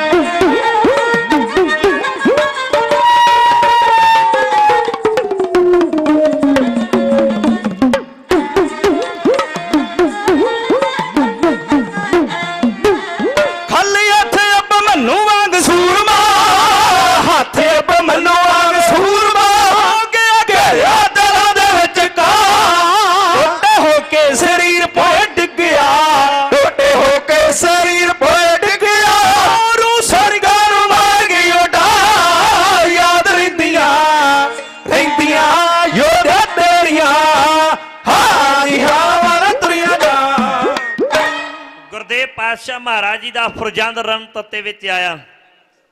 ਕੱਢ ਕੇ ਪੱਥੇ ਵਿੱਚੋਂ ਤੀਰ ਕਮਾਨ ਦੀ ਤੰਦੀ ਉੱਤੇ ਚਾੜ ਕੇ ਦੁਸ਼ਮਣ ਦੀ ਛਾਤੀ ਨੂੰ ਛਾਨਣੀ ਛਾਨਣੀ ਕਰਨਾ ਸ਼ੁਰੂ ਕਰ ਦਿੱਤਾ। ਪੱਥੇ ਵਿੱਚੋਂ ਤੀਰ ਖਤਮ ਹੋ ਗਏ ਤੇ ਬਹਾਦਰ ਨੇ ਹੱਥ ਵਿੱਚ ਬਰਸ਼ੀ ਸਾਂਭ ਲਈ। ਹੁਣ ਗੁਰੂ ਦਾ ਲਾਲ ਬਰਸ਼ੀ ਦੇ ਨਾਲ ਦੁਸ਼ਮਣ ਦੀਆਂ ਛਾਤੀਆਂ ਨੂੰ ਵਿੜਨਾ ਸ਼ੁਰੂ ਕਰਦਾ ਏ। ਬਰਸ਼ੀ ਦਾ ਫਲ ਟੁੱਟ ਗਿਆ ਤੇ ਫਿਰ ਡਾਂਗ ਦੇ ਨਾਲ ਡੈ ਪਿਆ। ਜਦੋਂ ਡਾਂਗ ਵੀ ਖਟੜੀ ਖਟੜੀ ਹੋ ਕੇ ਜ਼ਮੀਨ ਉੱਤੇ ਡਿੱਗੀ ਤੇ ਫਿਰ ਬਹਾਦਰ ਨੇ ਢਾਗ ਉੱਤੇ ਲੜਕਦੀ ਹੋਈ ਤਲਵਾਰ ਕੱਢੀ। ਦੁਸ਼ਮਣ ਦੇ ਨਾਲ ਜੂਝਦੇ ਹੋਇਆ ਗੁਰੂ ਕਾ ਲਾਲ ਤਲਵਾਰ ਦੇ ਨਾਲ ਮੁਕਾਬਲਾ ਕਰਦਾ ਏ ਆਖਰ ਨੂੰ ਤਲਵਾਰ ਵੀ ਟੁੱਟ ਗਈ ਏ। ਦੁਸ਼ਮਣ ਨੇ ਘੇਰਿਆ ਤੇ ਗੁਰੂ ਦਾ ਲਾਲ ਟੋਟੇ ਟੋਟੇ ਹੋਇਆ ਤੇ ਜ਼ਮੀਨ ਉੱਤੇ ਡਿੱਗਾ ਤੇ ਸ਼ਹਾਦ ਦਾ ਜਾਮ ਪੀ ਗਿਆ। ਕਲਗੀਧਰ ਗੁਰਦੇਵ ਪਾਤਸ਼ਾਹ ਮਹਾਰਾਜ ਜੀ ਦੋ ਮੰਜ਼ਲੇ ਛੱਤੇ ਉੱਤੇ ਮਕਾਨ ਤੇ ਅਜੇ ਵੀ ਖਲੋਤੇ ਹੋਏ ਨੇ। ਦੂਸਰਾ ਪੁੱਤ ਸ਼ਹੀਦ ਹੋ ਗਿਆ, ਵਜ਼ੀਰ ਖਾਨ ਨੇ ਸੋਚਿਆ, ਜਰਨੈਲਾਂ ਨੇ ਸੋਚਿਆ, ਹੁਣ ਗੁਰੂਦੇਵ ਪਾਤਸ਼ਾਹ ਮਹਾਰਾਜ ਜੀ ਚਮਕੌਰ ਦੀ ਕੱਚੀ ਹਵੇਲੀ ਦਾ ਦਰਵਾਜ਼ਾ ਖੋਲ ਕੇ ਗ੍ਰਿਫਤਾਰੀ ਦੇ ਦੇਵੇਗਾ। ਕਿਉਂਕਿ ਗੁਰੂ ਦਾ ਦੂਸਰਾ ਪੁੱਤ ਵੀ ਮੈਦਾਨੇ ਜੰਗ ਵਿੱਚ ਮਾਰਿਆ ਜਾ ਚੁੱਕਾ ਹੈ ਤੇ ਸਤਿਗੁਰੂ ਮਹਾਰਾਜ ਨੇ ਆਪਣੇ ਦੂਸਰੇ ਪੁੱਤ ਦੀ ਸ਼ਹੀਦੀ ਉੱਤੇ ਪੰਜ ਜੰਕਾਰੇ ਬੁਲਾਏ ਨੇ। ਇਧਰੋਂ ਅੱਠ ਪੋਹ ਦਾ ਸੂਰਜ ਛਿਪ ਗਿਆ ਏ। ਗੁਰਦੇਵ ਪਾਤਸ਼ਾਹ ਮਹਾਰਾਜ ਜੀ ਦੋ ਮੰਜ਼ਲੇ ਛੱਤੇ ਮਕਾਨ ਤੋਂ ਥੱਲੇ ਆਏ। ਗੁਰਦੇਵ ਪਾਤਸ਼ਾਹ ਮਹਾਰਾਜ ਜੀ ਦੀ ਇਕਾਈ ਦਾ ਵਿਛੋਣਾ ਕੀਤਾ ਹੋਇਆ। ਸਤਿਗੁਰੂ ਮਹਾਰਾਜ ਜੀ ਉਹਦੇ ਉੱਤੇ ਚੌਂਕੜਾ ਮਾਰ ਕੇ ਬੈਠੇ ਨੇ। ਦੋ ਹੱਥ ਜੋੜ ਕੇ ਮੇਰੇ ਗੁਰਦੇਵ ਪਾਤਸ਼ਾਹ ਮਹਾਰਾਜ ਨੇ ਆਪਣੇ ਮੁਖਾਰ ਬਿੰਦ ਵਿੱਚੋਂ ਚੰਦ ਸ਼ਬਦ ਕਹੇ ਨੇ, ਜਿਹਨੂੰ ਕਿਸੇ ਵਿਦਵਾਨ ਨੇ ਆਪਣੇ ਕਲਮ ਤੋਂ ਬੜਾ ਸੋਹਣਾ ਖਿੱਚਿਆ ਹੈ ਉਹ ਕਹਿੰਦਾ, ਹੱਸ ਸ਼ਹੀਦੀ ਪਾ ਗਿਆ, ਜਦ ਲਾਲ ਛਟੇਰਾ ਅੱਖਾਂ ਸਾਵੇਂ ਹੋ ਗਿਆ, ਉਹ ਬੇਰਾ ਬੇਰਾ ਉਂਗਲੀ ਲਾ ਕੇ ਲੈ ਗਿਆ, ਉਹਨੂੰ ਵੀਰ ਵਡੇਰਾ, ਹੱਥ ਬਨ ਬੋਲੇ, ਸਤਿਗੁਰੂ, ਵਾਹ ਭਾਣਾ ਤੇਰਾ ਤੇਰਾ ਤੁਝ ਕੋ ਸੌਂਪਤੇ ਕਿਆ ਲਾਗੇ ਮੇਰਾ ਹੁਕਮ ਰਜਾਈ ਚੱਲਣਾ ਜੋ ਕਰੇ ਚੰਗੇਰਾ ਸਤਿਗੁਰੂ ਮਹਾਰਾਜ ਨੇ ਅੱਗੇ ਬੜਾ ਸੋਹਣਾ ਫਰਮਾਨ ਕੀਤਾ ਪੰਥ ਬਸੇ ਮੈਂ ਉਜੜਾ ਮਨ ਚਾਓ ਕਨੇਰਾ ਵਾਹੋ ਵਾਹੋ ਗੋਬਿੰਦ ਸਿੰਘ ਧਨ ਤੇਰਾ ਜੀਰਾ ਆ ਫੋਲ ਫੋਲ ਕੇ ਬੜੇ ਇਤਿਹਾਸ ਵੇਖੇ ਤੇ ਕੋਈ ਹੱਸ ਨਾ ਪੁੱਤਾਂ ਨੂੰ ਵਾਰਦਾ ਦੇ ਠੇਡਾ ਮਾਰ ਕੇ ਅੱਗੇ ਨੂੰ ਲੰਘ ਜਾਣਾ। ਤੇ ਕਿੱਡਾ ਹੌਸਲਾ ਸੱਚੀ ਸਰਕਾਰ ਦਾ ਜੇ। ਉਹ ਪੁੱਤ ਮਰ ਜਾਂਦੇ ਜਿੰਨਾ ਮਾਪਿਆਂ ਦੇ ਤੇ ਵਚਨ ਰਹਿੰਦਾ ਨੇ ਕੱਖਾਂ ਦੇ। ਪਾਰ ਦਾ ਜੇ। ਤੇ ਵਚਨ ਰਹਿੰਦਾ ਨੇ ਕੱਖਾਂ ਦੇ। ਭਾਰ ਦਾ ਜੇ। ਗੁਰਦੇਵ ਪਾਤਸ਼ਾਹ ਮਹਾਰਾਜ ਨੇ ਉਸ ਅਕਾਲ ਪੁਰਖ ਪ੍ਰਮਾਤਮਾ ਦਾ ਸ਼ੁਕਰਾਨਾ ਕੀਤਾ ਤੇ ਸੋਦਾਰਾ ਰਾ ਸਾਹਿਬ ਜੀ ਦਾ ਪਾਠ ਕੀਤਾ। ਇਥੋਂ ਗੁਰਦੇਵ ਪਾਤਸ਼ਾਹ ਮਹਾਰਾਜ ਜੀ ਗੁਰੂ ਕੇ ਪਿਆਰੇ ਖਾਲਸਾ ਪੰਥ ਦੀ ਬੇਨਤੀ ਨੂੰ ਪ੍ਰਵਾਨ ਕਰਕੇ ਚਮਕੌਰ ਦੀ ਕੱਚੀ ਹਵੇਲੀ ਨੂੰ ਛੱਡ ਕੇ ਮਾਸ਼ੀਵਾੜੇ ਦੇ ਜੰਗਲਾਂ ਨੂੰ ਕਿਸ ਤਰ੍ਹਾਂ ਚੱਲ ਜਾਂਦੇ, ਪ੍ਰਸੰਗ ਦਾ ਦੂਸਰਾ ਹਿੱਸਾ ਸ਼ੁਰੂ ਹੋ ਜਾਂਦਾ ਏ। ਜੇ ਮੈਂ ਇਹਨੂੰ ਛੇੜ ਲਿਆ ਤੇ ਘੱਟ ਤੋਂ ਘੱਟ ਗੁਰੂ ਨੂੰ ਚਮਕੌਰ ਦੀ ਕੱਚੀ ਹਵੇਲੀ ਚੋਂ ਬਾਹਰ ਕੱਢਣ ਵਾਸਤੇ ਮੈਨੂੰ 2 ਘੰਟੇ ਲੱਗ ਜਾਣਗੇ। ਸਮਾਂ ਜ਼ਿਆਦਾ ਹੋ ਜਾਵੇਗਾ, ਨਿਰਧਾਰਤ ਕੀਤਾ ਹੋਇਆ ਸਮਾਂ ਜਿਹੜਾ ਏ, ਉਹ ਸਮਾਪਤ ਹੋ ਚੁੱਕਾ ਹੈ ਗੁਰਦੇਵ ਪਾਤਸ਼ਾਹ ਮਹਾਰਾਜ ਜੀ ਦੇ ਪਾਵਨ ਦਰਬਾਰ ਅੰਦਰ ਜਿੰਨੀਆਂ ਵੀ ਸਤਿਕਾਰਯੋਗ ਸਿੱਖ ਸੰਗਤਾਂ ਆਈਆਂ ਨੇ ਚਰਨਾਂ ਵਿੱਚ ਬੇਨਤੀ ਹੈ, ਮੇਰੇ ਤੋਂ ਪਹਿਲਾਂ ਵੀ ਸਿੱਖ ਪੰਥ ਦਾ ਮਹਾਨ ਸਰਮੌਰ ਕਥਾਵਾਚਕ ਗਿਆਨੀ ਹਰਪ੍ਰੀਤ ਸਿੰਘ ਜੀ ਵਡਾਲਾ ਜੌਲ, ਆਪ ਬਰਾਬਰ ਦੀਆਂ ਰੂਹਾਂ ਦੇ ਨਾਲ ਸਿਧਾਂਤਕ ਵਿਸ਼ੇ ਉੱਤੇ ਵੀ ਵਿਚਾਰਾਂ ਕਰਕੇ ਗਏ ਸਨ, ਅੱਜ ਲੋੜ ਹੈ ਸਾਨੂੰ ਗੁਰਦੇਵ ਪਾਤਸ਼ਾਹ ਮਹਾਰਾਜ ਜੀ ਦੇ ਨਾਲ ਜੁੜਨ ਵਾਸਤੇ, ਗੁਰੂ ਦੀ ਬਾਣੀ ਪੜ੍ਹਨ ਵਾਸਤੇ, ਸਾਧ ਸੰਗਤ ਜੀ ਸੰਸਾਰ ਦੇ ਵਿੱਚ ਆਪਾਂ ਵੇਖ ਲਈਏ ਨਾ, ਕਿ ਇਹੋ ਜਿਹੀਆਂ ਕ੍ਰਿਤੀਆਂ ਆ ਗਈਆਂ ਨੇ, ਇਸੇ ਕੌਮ ਵਿੱਚ ਵੀ ਆ ਗਿਆ, ਜਿਹੜੀ ਕੌਮ ਆਰਿਆਂ ਨਾਲ ਚੀਰ ਕੇ ਖਤਮ ਨਾ ਕੀਤੀ ਗਈ, ਚੜਖੜੀ ਉੱਤੇ ਚਾੜ ਕੇ ਖਤਮ ਨਾ ਕੀਤੀ ਗਈ, ਜੰਡਾ ਨਾਲ ਪੁੱਠੀ ਬੰਨ ਕੇ ਸਾੜ ਕੇ ਖਤਮ ਨਾ ਕੀਤੀ ਗਈ। ਬੰਦ ਬੰਦ ਕੱਟ ਕੇ ਨਾ ਖਤਮ ਕੀਤੀ ਗਈ ਤੇ ਦੁਸ਼ਮਣ ਹਾਰ ਗਿਆ। ਸੇ ਕੌਮ ਨੂੰ ਮਕਾਉਣ ਵਾਸਤੇ ਜਿਹੜੇ ਸੇ ਕੌਮ ਨੂੰ ਮਕਾਉਣ ਵਾਸਤੇ ਆਏ ਨਾ, ਉਹ ਆਪ ਮੁੱਕ ਗਏ। ਹੁਣ ਨਵੀਂ ਚਾਲ ਚੱਲ ਰਹੀ ਹੈ ਕਿ ਸੇ ਕੌਮ ਨੂੰ ਖਤਮ ਕਰਨ ਵਾਸਤੇ ਤਲਵਾਰ ਦੀ ਲੋੜ ਨਹੀਂ। ਤੋਪਾਂ ਦੀ ਲੋੜ ਨਹੀਂ, ਬੰਦੂਕਾਂ ਦੀ ਲੋੜ ਨਹੀਂ, ਤੀਰਾਂ ਦੀ ਲੋੜ ਨਹੀਂ। ਏ ਸੇ ਕੌਮ ਨੂੰ ਜੇ ਖਤਮ ਕਰਨਾ ਹੈ ਤੇ ਇਹਦੇ ਵਿੱਚ ਭਰਮ ਐਸੇ ਪਾ ਦਿਓ, ਇਹਦੇ ਵਿੱਚ ਪਾੜ ਐਸੇ ਪਾ ਦਿਓ। ਜਦੋਂ ਕੌਮ ਦੋਵਾਂ ਧੜਿਆਂ ਵਿੱਚ ਵੰਡੀ ਗਈ, ਤਿੰਨਾਂ ਧੜਿਆਂ ਵਿੱਚ ਵੰਡੀ ਗਈ ਚੌਹਾਂ ਧੜਿਆਂ ਵਿੱਚ ਵੰਡੀ ਗਈ, ਵੰਡੀ ਹੋਈ ਕੌਮ ਜਦੋਂ ਇੱਕ ਦੂਜੇ ਉੱਤੇ ਵਾਰ ਕਰੇਗੀ, ਮਰਨੇ ਇਹਨਾਂ ਦੇ ਆਪਣੇ ਨੇ। ਇਸ ਕੌਮ ਨੂੰ ਹੁਣ ਤਲਵਾਰ ਨਾਲ ਮਾਰਨ ਦੀ ਲੋੜ ਨਹੀਂ, ਦਿਮਾਗ ਨਾਲ ਮਾਰਨਾ ਚਾਹੀਦਾ ਏ ਇਸੇ ਕਰਕੇ ਸਾਡੇ ਵਿੱਚ ਵਹਿਮ ਪਾ ਦਿੱਤੇ ਗਏ ਨਾ। ਆੜਾ ਸਾਡੇ ਵਿੱਚ ਫੈਸ਼ਨ ਪ੍ਰਸਤੀ ਆ ਗਿਆ ਏ। ਕੇਸ ਕਤਲ ਕਰਾਉਣੇ, ਦਾੜੇ ਕਤਲ ਕਰਾਉਣੇ, ਅੱਖਾਂ ਦੇ ਪਰਵੱਟੇ ਬਣਾਉਣੇ ਬਿਊਟੀ ਪਾਰਲਰ ਦੇ ਕੋਲ ਜਾਣਾ, ਵਿਆਹ ਦੇ ਉੱਤੇ ਡੀਏ ਲਾਉਣਾ ਡੀਏ ਉੱਤੇ ਭੈਣ ਨੇ ਇਕੱਠਿਆਂ ਹੋ ਕੇ, ਭਰਾ ਨੇ, ਭਰਜਾਈ ਨੇ, ਮਾਂ ਨੇ, ਪੁੱਤ ਨੇ ਇਕੱਠਿਆਂ ਹੋ ਕੇ ਭੰਗੜੇ ਪਾਉਣੇ, ਇਹ ਸਾਡਾ ਕੰਮ ਨਹੀਂ ਸੀ। ਸਾਡਾ ਕੰਮ ਕੀ ਸੀ? ਗੁਰੂ ਘਰ ਵਿੱਚ ਆਉਣਾ, ਗੁਰੂ ਦੀ ਬਾਣੀ ਪੜ੍ਹਨੀ, ਸੇਵਾ ਕਰਨਾ, ਸਿਮਰਨ ਕਰਨਾ, ਇਹ ਸੀ ਸਾਡਾ ਕੰਮ। ਅੱਜ ਅਸੀਂ ਸੇਵਾ ਨਾਲੋਂ ਵੀ ਟੁੱਟ ਗਏ, ਸਿਮਰਨ ਨਾਲੋਂ ਵੀ ਟੁੱਟ ਗਏ, ਕੋਹਾਂ ਦੂਰ ਤੁਰੇ ਜਾ ਰਹੇ ਹਾਂ।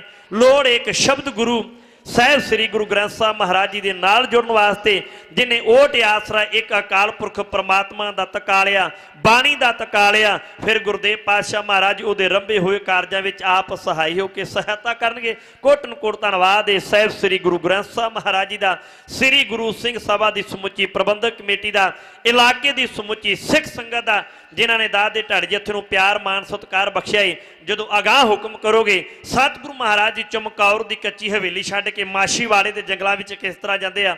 ਆਹ ਸਿੱਖ ਸੰਗਤਾਂ ਦੇ ਨਾਲ ਦਾਦ ਦਾ ਢੜ ਜਥਾ ਇਤਿਹਾਸ ਦੀ ਵਿਚਾਰ ਕਰੇਗਾ। ਯਾਦ ਕਰਨਾ ਹਮੇਸ਼ਾ ਪੇ ਐਡਰੈਸ ਕੱਢ ਲੈ ਸਕਦੇ ਜੋ। ਯਾਦ ਵੀ ਹੁਕਮ ਕਰੋ, ਦਾਸ ਗੁਰਪੇਜ ਸਿੰਘ ਚਵਿੰਡਾ। ਆਹ ਸਿੱਖ ਸੰਗਤਾਂ ਦੇ ਚਰਨਾਂ ਦੀ ਧੂੜ ਨੂੰ ਮੱਥੇ ਉੱਤੇ ਲਾਉਣ ਵਾਸਤੇ ਗੁਰੂ ਕੇ ਪਾਵਨੀ ਅਤੇ ਪਵਿੱਤਰ ਦਰਬਾਰ ਅੰਦਰ ਹਾਜ਼ਰ ਹੋ ਜਾਵੇਗਾ। ਉੱਥੇ ਧੰਨਵਾਦ ਮੇਰੇ ਅਤੀ ਸਤਿਕਾਰਯੋਗ ਗੁਰਸਿੱਖ ਵੀਰ ਅਕਾਲ ਟੀਵੀ ਵਾਲੇ, ਜਿਹੜੇ ਗੁਰਦੇਵ ਪਾਤਸ਼ਾਹ ਮਹਾਰਾਜ ਜੀ ਦੇ ਪਾਵਨ ਦਰਬਾਰ ਅੰਦਰ ਇਸ ਗੁਰਮਤਿ ਸਮਾਗਮ ਦੀ ਸਾਰੀ ਰਿਕਾਰਡਿੰਗ ਕਰ ਰਹੇ ਨੇ। ਉਹ ਟੀਵੀ ਦੇ ਉੱਤੇ ਵੀ ਚਲਾ ਰਹੇ ਨੇ ਤੇ ਫੇਸਬੁੱਕ ਉੱਤੇ ਵੀ ਲਾਈਵ ਚੱਲ ਰਿਹਾ ਹੈ ਕਈ ਵੀਰ ਘਰਾਂ ਵਿੱਚ ਬੈਠੇ, ਇਹਦਾ ਆਨੰਦ ਮੀਡੀਆ ਉੱਤੇ ਮਾਣ ਰਹੇ ਨੇ। ਗੁਰੂ ਕਿਰਪਾ ਕਰੇ ਇਹਨਾਂ ਵੀਰਾਂ ਦੇ ਸਿਰ ਦੇ ਉੱਤੇ ਵੀ ਪਾਤਸ਼ਾਹ ਮੇਰਾ ਪਰਿਆ ਹੱਥ ਰੱਖੇ। ਮੈਂ ਵੇਖਿਆ ਜਿੰਨੇ ਕਿ ਟੀਵੀ ਵਾਲੇ ਵੀਰਾਂ ਨਾਲ ਮੇਰਾ ਮਲਾਪ ਹੋਇਆ ਨਾ, ਇਹ ਅਕਾਲ ਟੀਵੀ ਵਾਲੇ ਮੇਰੇ ਵੀਰ ਹੋਏ, ਕੇ ਟੀਵੀ ਵਾਲੇ ਮੇਰੇ ਵੀਰ ਹੋਵੇ, ਇਹ ਜਿੰਨੇ ਹੀ ਗੁਰਮਤਿ ਸਮਾਗਮ ਦੇ ਰਿਕਾਰਡਿੰਗ ਕਰਦੇ ਨੇ, ਸਾਧ ਸੰਗਤ ਜੀ, ਸਾਰੇ ਗੁਰਸਿੱਖ, ਸਾਰੇ ਪ੍ਰੇਮ ਵਾਲੇ ਨੇ।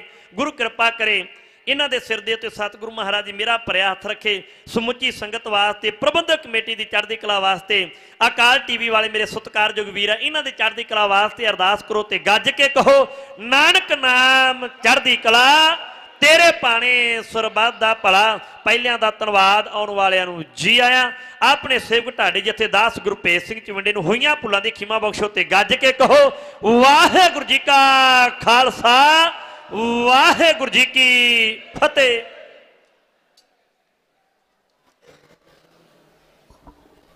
ਗੁਰੂ ਪਿਆਰੀ ਸਾਧ ਸੰਗਤ ਜੀਓ, ਵਾਹਿਗੁਰੂ ਜੀ ਕਾ ਖਾਲਸਾ, ਵਾਹਿਗੁਰੂ ਜੀ ਕੀ ਫਤਿਹ। ਅਸੀਂ ਸੁਣ ਰਹੇ ਸਾਂ ਭਾਈ ਸਾਹਿਬ, ਭਾਈ ਗੁਰਪ੍ਰੀਤ ਸਿੰਘ ਜੀ, ਚਵਿੰਡਾ ਰਤ ਢਾਡੀ ਜਥੇ ਤੋਂ ਗੁਰਮਤਿ ਵਾਰਾਂ, ਗੁਰ ਇਤਿਹਾਸ। ਇਹਨਾਂ ਨੇ ਸਾਨੂੰ ਚਮਕੌਰ ਸਾਹਿਬ ਦੀ ਜੰਗ ਦਾ ਇਤਿਹਾਸ ਸੁਣਾ ਕੇ ਖਵਾਜਾ ਮਰਦੂਦ ਦੇ ਬਾਰੇ ਜਿਸ ਤਰ੍ਹਾਂ ਗੁਰੂ ਸਾਹਿਬ ਨੇ ਕਲਮਬੰਦ ਕੀਤਾ ਹੈ, ਉਸ ਤਰ੍ਹਾਂ ਇਹਨਾਂ ਉਹਨਾਂ ਤਜਰਮਾ ਤਰਜਮਾ ਕਰਕੇ ਸਾਨੂੰ ਸਮਝਾਇਆ।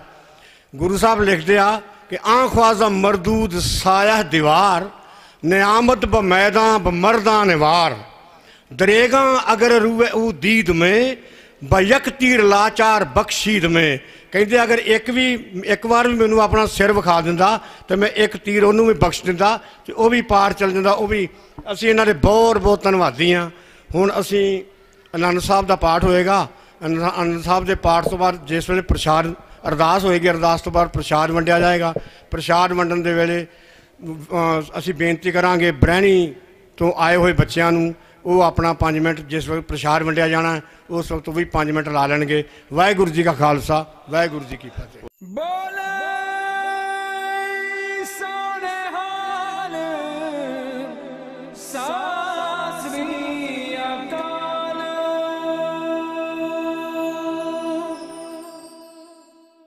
ਅਕਾਲ। ਚੈਨਲ ਨੂੰ ਸਬਸਕ੍ਰਾਈਬ ਕਰੋ। ਨਵੀਂ ਵੀਡੀਓਜ਼ ਦੀ ਨੋਟੀਫਿਕੇਸ਼ਨ ਦੇ ਲਈ ਬੈਲ ਆਈਕਨ ਨੂੰ ਕਲਿੱਕ ਕਰਨਾ ਨਾ ਭੁੱਲਣਾ।